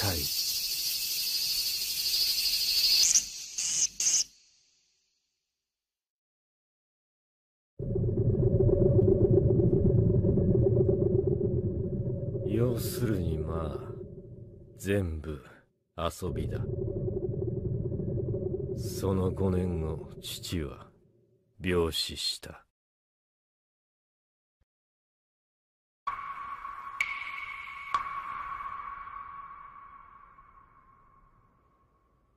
まあ元気出しなよ。これからは宗師様だよ。淳二君。俺はこの家を出る。教団とも縁を切る。何それ？おい何勝手に降りようとしてんだ？ふざけんなよ！金も女も自由になるのはこれからじゃねえか。明日までに頭冷やしとけよ。淳二君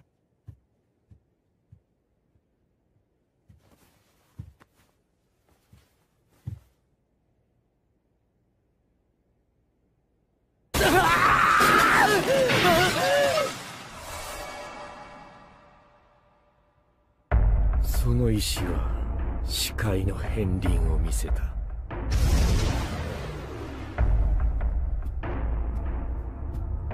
俺は全てを割り切った。視界術の研究。実愛会はそのためにのみ存在するもの。きっかけをくれた友人は最後まで好きなように遊ばせてやった。青臭くて呆れたか。もう俺は普通の世界に生きることに輝きを感じない。だがお前は違う。家族と帰れ。別れを選べば互いの苦しみに触れる機会すら永久に失う。ジュリーわしからも頼む。帰ってきてくれ。この通りだ。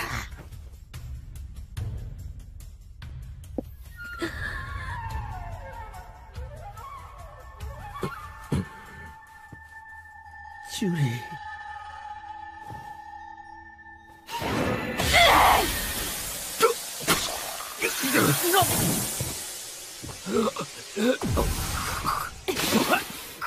すごいね。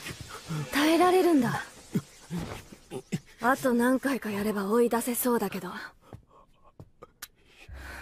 ここで決着をつけないと。意味ないよね。待て。おめえが帰れる可能性をなくすつもりだ私は家族を守りたい。何に変えても。こいつも同じ。自分の目的を守るために私たちに運を預けたりしないだがよ。お互い1ミリも妥協なんかできっこない。こいつはそれを知ってる。知った上で私たちに揺さぶりをかけてる。喋りすぎたか。待てジュリわしがやる。せめて手を汚させてくれ。結局わしはてめえよりも孫を信じるしかねえ。この手でてめえを殺してこの手で孫をここに残す。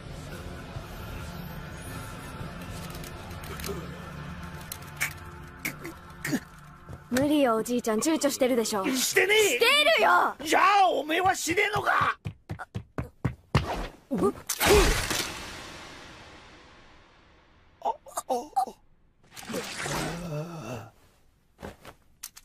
成敗。ふん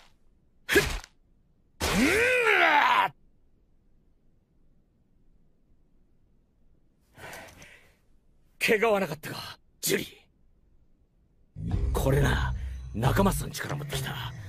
妄想刀だから切れはしないが一斗缶ぐらいならサクッと貫くんだぞ。いやそれより。も親父何をごちゃごちゃとやっていか。俺が蹴りをつけてやったからいいようなもののもしこいつがジュリに襲いかかっていたらどう守るつもりだったんだ？マジ？一直線に刺しに行った？倒れてる相手を一瞬の戸惑いもなくむしろ軽やかな動きで。なんだろうこの人。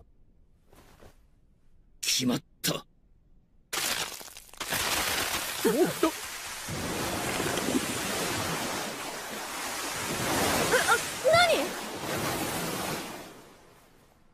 あなんだ？こんちきしょめおい脳みそどっち行った？脳みそ？砂煙ならあちらに。ここ佐川あれ？まるで雲だな。よしこいつで払いようとして終わりだ。余った砂塵が見当たらない。佐川の体の質量は全部あの細い糸に凝縮されてるってこと？だとしたら。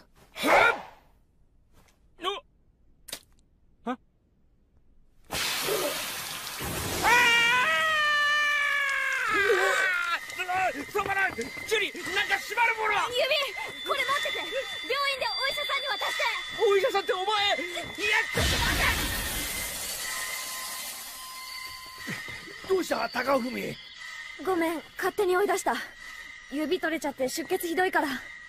みんな佐川の張った糸に触らないで。一本一本がカミソリみたいに鋭い。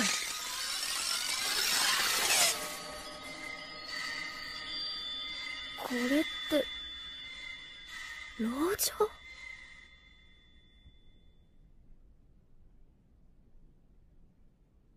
じいじも止まっちゃった。あら穏やかないいお顔。どんくらい経った？さあ1時間とかあれで生きてるってこと自体信じられないけど。まさかあん中で体の回復とか。確かに。浮遊粒子を吸い寄せるぐらいのことはしてるかもしれない。浮遊粒子？大気中の砂塵や炭素や金属のこと。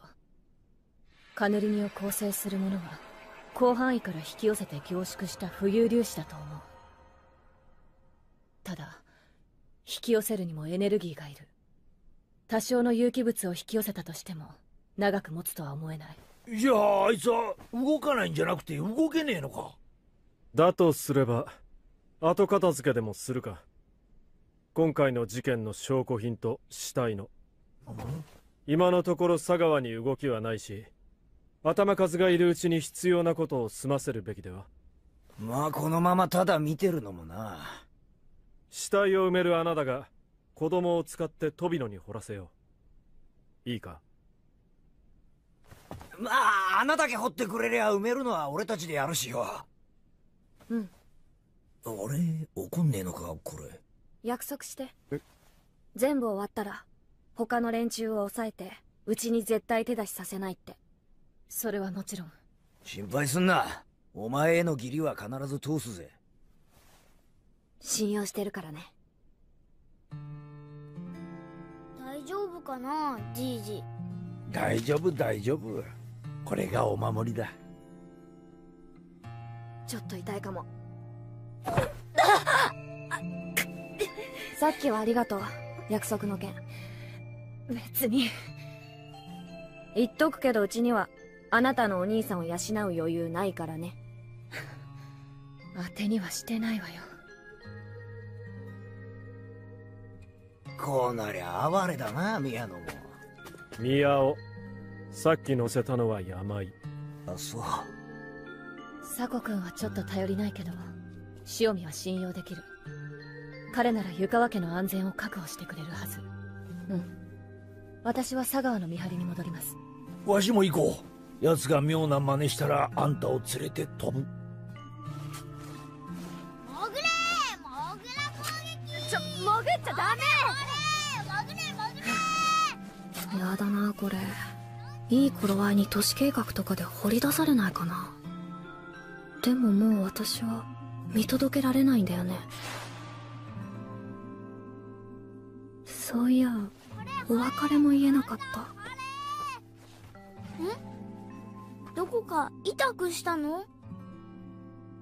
ジュリ姉ちゃん。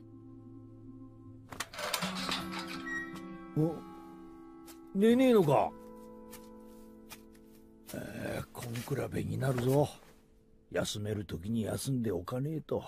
誠が一度起きてぐずっちゃって。ママはまだ帰らないのって。ねえおじいちゃん。過ぎたことを責めるのはもうお父さんに任せて。無理とか言うのなし。約束して。おじいちゃん。なんだ？呼んでみただけ。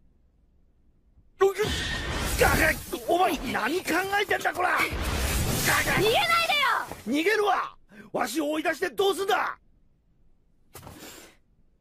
誠がう早苗姉ちゃんに会いたがってるのにいつまでここに閉じ込めておくの！ま、まこ、いや、お前今わしを。今じゃないとお別れできないからこのままおじいちゃんや誠と一緒にいたらそれが普通になっちゃうよ！お前は何のために石を壊してまでわしを残した？万が一も許さず誠を守りきりたいんじゃねえのか？お前が何と言おうとわしは残るお前の決めた覚悟にわしはついていくからな。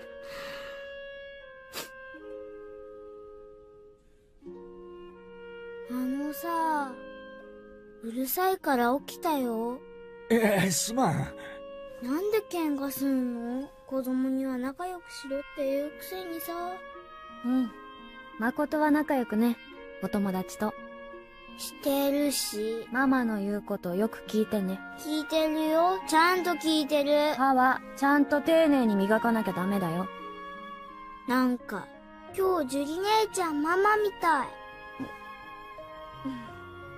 手の肉付きのいい子だ。将来いい仕事をするようになるぞ。それもう10回ぐらい言ってるよ。そうか。言ってるよ。絶対また言うなんか家にいるみたい。早く帰りたいね。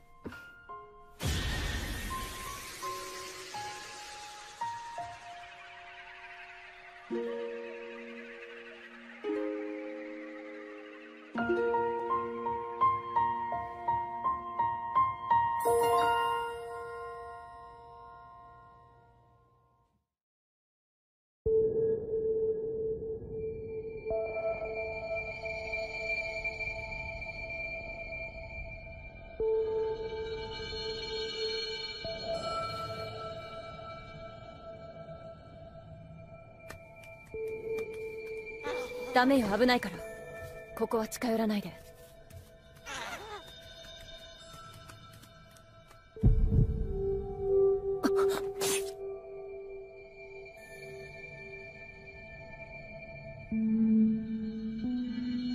細い。でも注意して見てたはずなのに。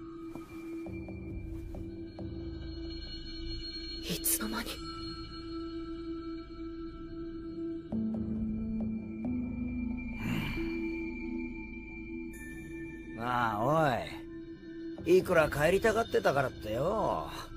こいつは貴重な戦力だったんだぞ。こいつって言わないで。いやせめて俺たちにも一言相談しろよ。おいチンピラ。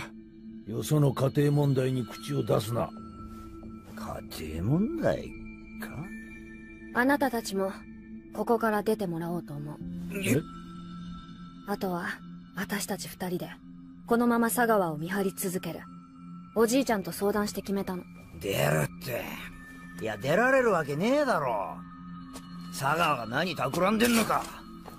今どうなってるのかもわかんねえんだぞ。うわっ！俺シャベルももう引っ込めって言ってるぞ。うるせえな。この断面。だ。あ。これは。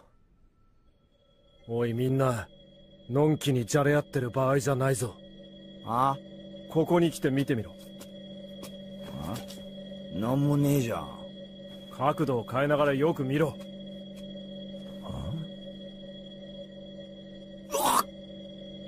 マジか。これ佐川の糸じゃねえか。こんなところまで伸ばしてきやがった。距離だけじゃない。下の方見えるか？ここに来るため俺たちが通ったルートを塞いでる。話してる間に張られた。このまま際限なく糸を増やされたらカゴに殺されるぞ。みんな聞こえる？佐川が糸を増やしてる。どこまで伸びてるかわからない。動く前に目を凝らして。今気づいたとこだ。お前こっち来れるか？わからない。でもここを離れたら見張りが今行ったら待ってろどうするんだ？どうって真島を連れて糸のねえところに出るんだよ。そんなもの盾にならないだろう。糸に触れたのが分かり十分。シャベルが切れた時にも気づかなかったのにか。さっきは注意してなかっただけで危ない今は。ま全く見えねえわけじゃねえしよく目を凝らせば。まあ待て。協力してくれるか。試してみたいことがある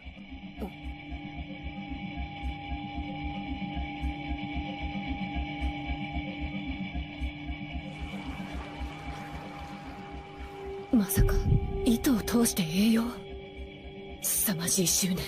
真島!無事か!今行くぞ!ダメ!迂闊に近づいたら!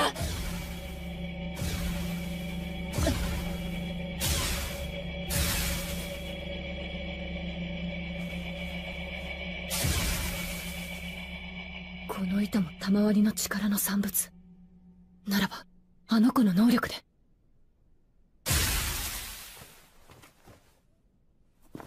密度が高すぎて弾け飛ぶんだ。あれって。栄養も？多分。つうことはだ。糸を全部切りゃ佐川は飢え死にだ。それとも一気に片付けてもらうか。届きさえすればあの舞みてえなのも一撃で吹き飛ばせるだろ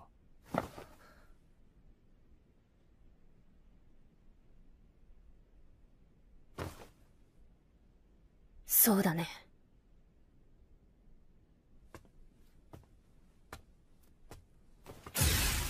佐川は瀕死の状態。玉ワニを力ずくで追い出せばおそらくその時点で佐川の命は尽きることになる。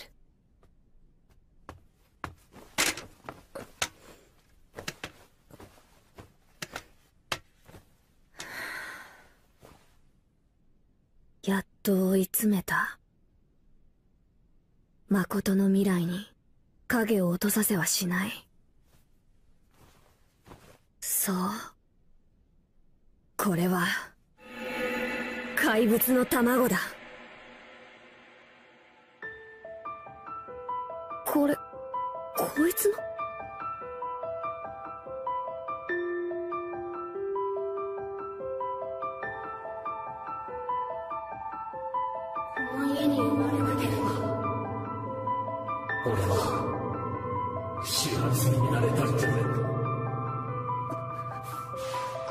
この家に残るメリットってある？そっか。こいつ。私と同じ。だから何？悪いけどけじめだよ。これは。お互い後戻りなんてできない。あんたも私も。も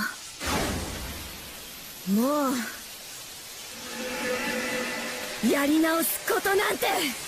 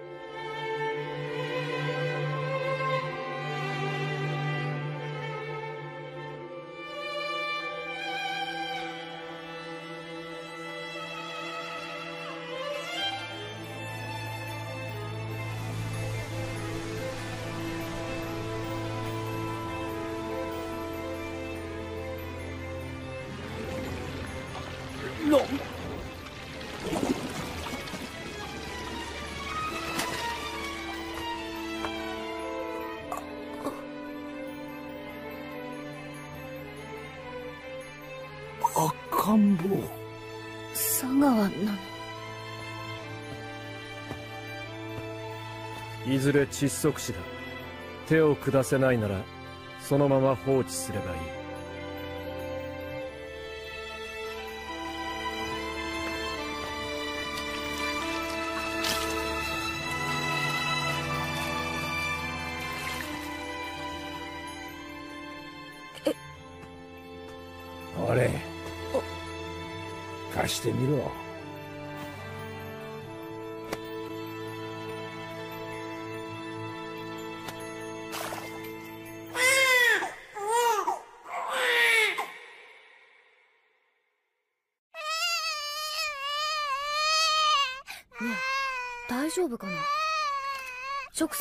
で混ぜちゃったけど。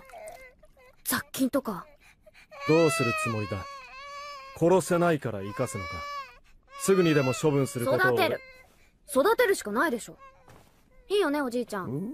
社名いやいつ佐川の記憶が覚醒しないとも限らない。覚醒しないよ記憶なんて。根拠は？この姿で生まれてきたということはたまには佐川を生かすために彼の遺伝情報に頼らざるを得なかったということ。元の体は新たな肉体を作るために分解されたと考えた方が自然。私見た。佐川の記憶が崩れていくイメージ。それでも記憶が戻るとしたらそれはもう霊魂とか怨念の領域になる。あれ？反論は？いや納得した。まあそういうことならよもう俺らがここでやることもねえな。そう。別に見たくもない顔だし。さっさと私の世界から出て行ってもらおうかな。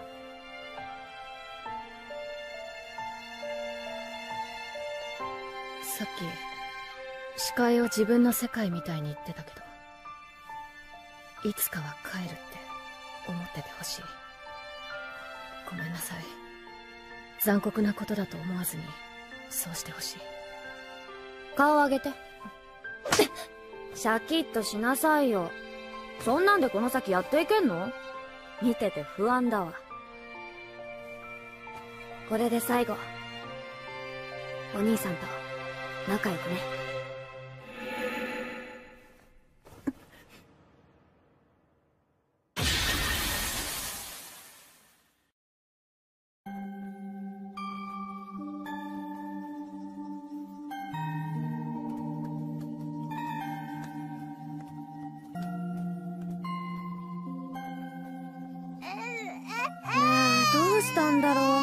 おむつでもミルクでもないみたいだけど。おうどうした？え？おう泣きやんだ。なんだ気まぐれか？へ ねえこの子いつ頃向こうに送った方がいいかな。ずっとこっちで育てるわけにはいかないでしょ。教育も受けさせたいし。だな。首が座ってからでいいんじゃねえか？お前の実は結構衝撃があるからよ。じゃあ半年くらいかな。誠もそれくらいだったし。あ嘘また。今度こそおしめがミルクじゃねえか？あ水とかお湯がない。調達しに行くか。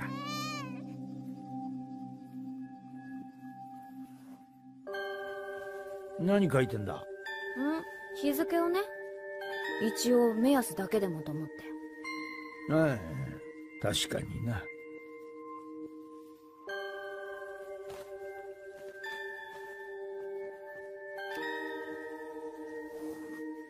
ええふれふれ飲め飲めぐっていけ。わっちゃー。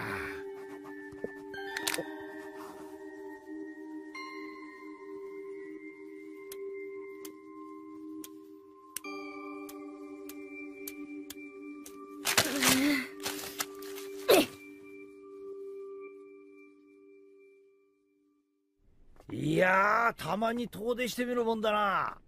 雨に降られる心配もねえし。あのねおじいちゃん。おおこれこれ。お前ここに来るとこればっかりだったんだぞ。やっぱりおじいちゃんは帰った方がいいと思う。一緒に残るって言ってくれたおじいちゃんの気持ちは嬉しい。けどお母さんやお姉ちゃんに説明しなきゃいけないきっと少しの間はごたごたがあると思う。それをうまく収められるのはおじいちゃんだけだから。だからお願いします。みんなを守ってください。やめろ。お願いしますなんて言うな。ちゃんと頭と体が動くうちに決心つける。必ずだ。だから前みてえに後ろからズドンだけはやめてくれ。頼む。分かった。先に休ませてもらうぞ。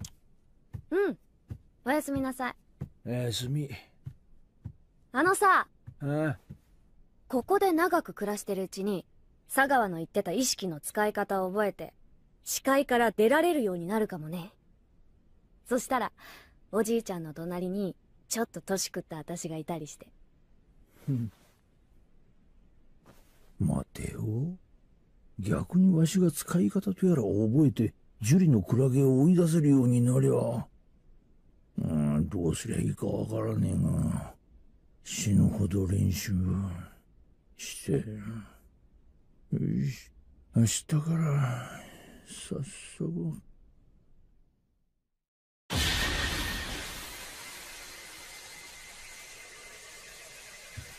ごめんね。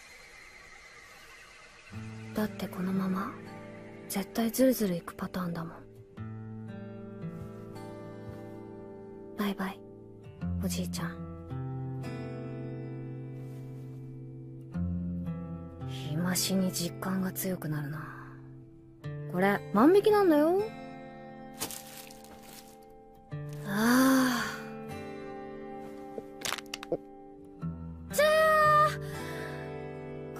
ずっと泥棒で生きていくのかと思うと情けなくなるわ。え？何？フォローしてくれるの？へいへい生きていくためです。どうか見逃してください。いやーもうすっかり慣れたね。お風呂の気持ちよさに目覚めた？え？てかあんた重くなったね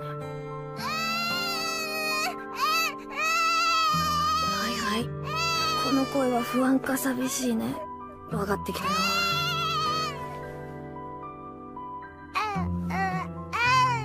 うん？何？それが気に入った？どれどれ？おおはいはい。この声は？うんち？お花だよ。お花。綺麗だね。ほら。早苗お姉ちゃんこんにちはって。ん。この前もあったよね。お姉ちゃんはすごいよ。誠のために生きるって決めて。私の場合もうすぐこの子ともさよなら。所詮ごっこだよ。いつかは帰るって思っててほしいそう思えば安心できる？別にいいこともなければ悪いこともない。それで十分だよ。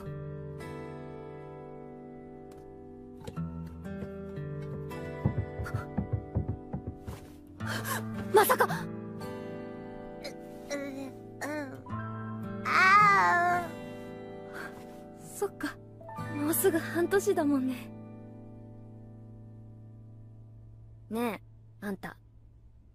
のまま私とここで暮らす？ああうんうんあ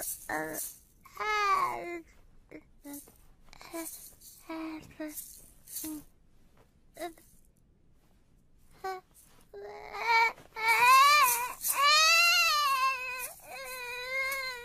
あお腹空いちゃったか。じゃあご飯の後にしよっか。もし吐いちゃったら喉に詰まって危ないから。いやまたお腹が空くまで間を置けば。ダメだ。結局迷ってる。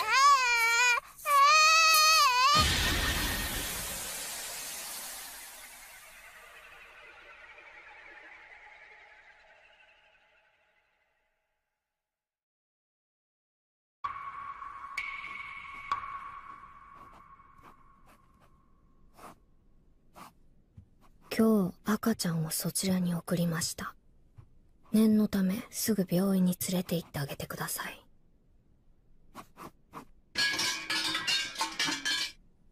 何も起きないけど私の世界が平和でありますように。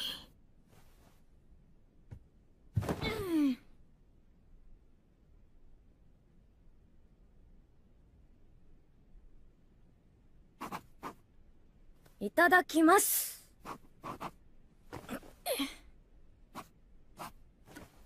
うん。おお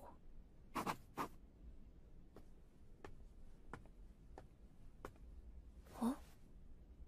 今まで気がつかなかった。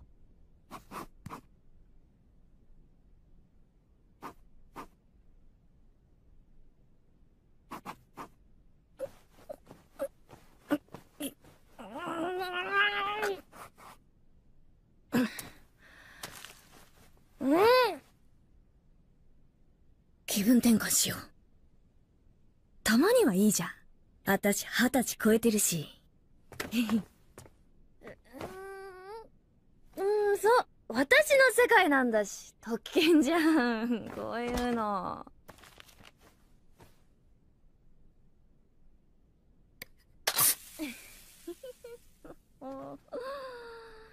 うんうん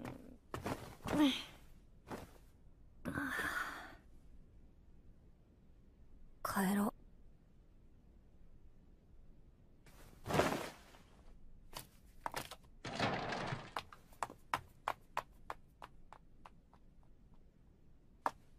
じゃ行ってきます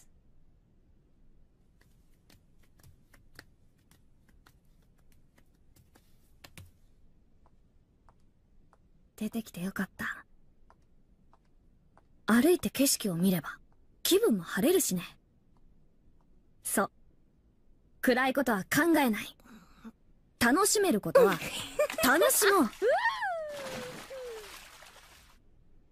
どうかうちが平和にやっていけますように。おやすみなさい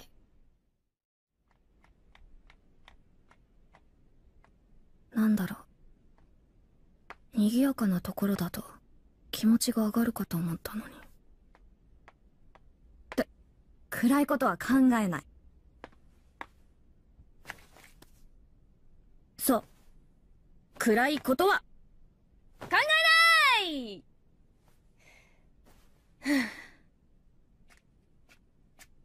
そうそう。暗いことは考えない。暗いことは考えない。暗いことは考えない。暗いことは考えない。暗いことは考えない。暗いことは考えない。暗いことは考えない。暗いことは考えない。暗いことは考えない。暗いことは考えない。暗いことは考えない。暗いことは考えない。暗いことは考えない。暗いことは考えない。暗いことは考えない。暗いことは考えない。暗いことは考えない。暗いことは暗いことは暗いことは考え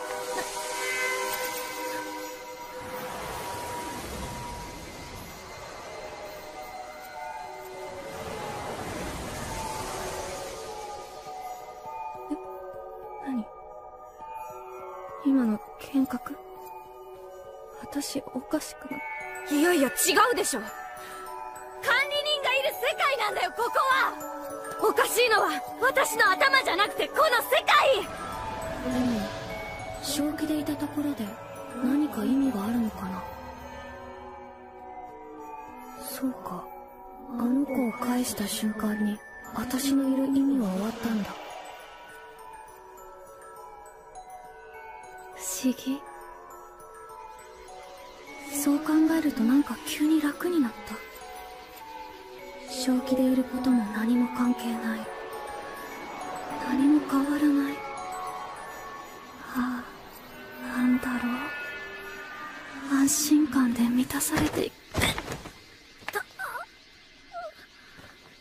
嘘。私がなんでここに残るって。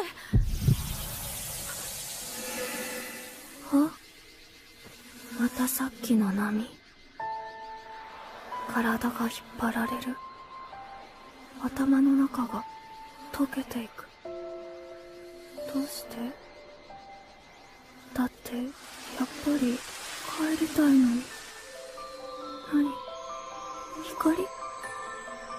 なんだろうあれ。行けるかな？行きたいなあそこまで。意識が完全に消える前。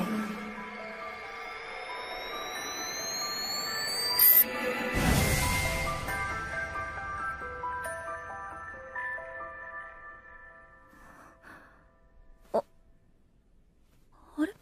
びっくりしたよ。もう引っ張り込まれるなんて初めてだったからさ。のたまには落ち着かせたからもう大丈夫だよ。あなた誰？は？自分で引っ張り込んどいて何よそれ。あんたこそ誰よ。い湯川です。ああ知ってるよ。うちの人の知り合いにいたわ。あのあ私？えっとねあんた視界に入るとき石使ったでしょ？それ作った人の嫁ええ？そっか。うちの人の石のせいでそんなことにね。申し訳なかったね。ああいえ。でもどうよ。ここだけの話。人財産作ったよね。そんなうちはほんとギリギリで財産なんて。呆れた。何も得しないまま石壊しちゃったんだ。なるほどね。うちの人が石を預けたわけだあの創始者。旦那さんは今どちらに？亡くなったよ。明治13年に。そうですか。明治。私は生まれつき体の中に玉アニがあってね。年を取らないんだ。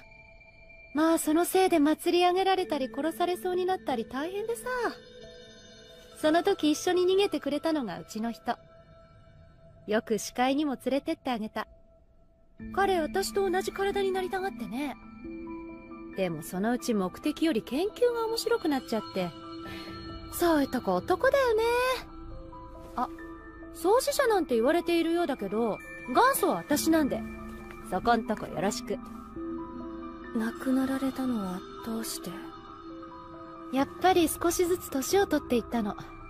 たまにを理性で制御する人の限界なのかな私と過ごしたのは実質200年ちょっとだったけどさ。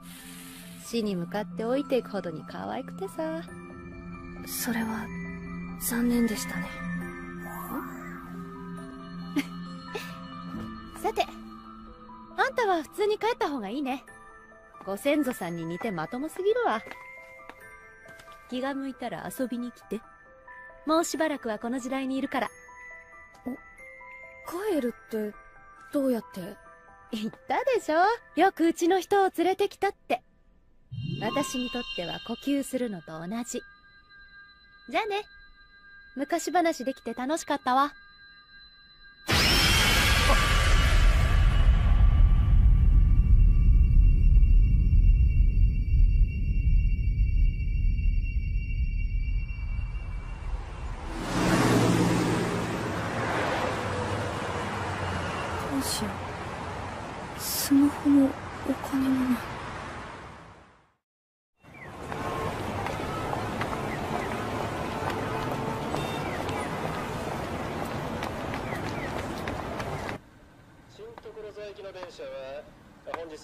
の所沢方面駅の最終電車となりますあ皆様お乗り遅れのないようご注意ください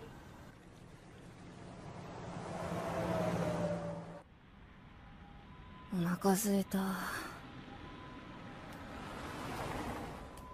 みんな寝てるよね朝まで家に入れないかなん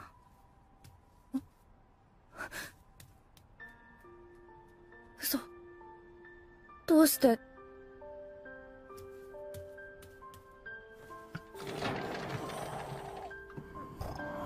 おじいちゃん。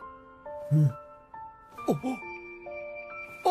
おいみんなジュリがジュリが。親父の言う通りだったな。必ず帰ってくるから今夜だけは起きて待ってよって。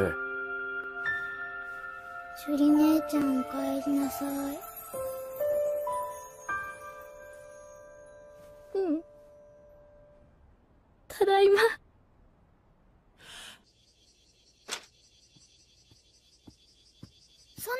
で寝てたら首痛くなっちゃうよママ寝てない横になってただけ誠兄ちゃんたち外で待ってるよあれ前にもこんなやりとりしたようなほら二人とも早く早く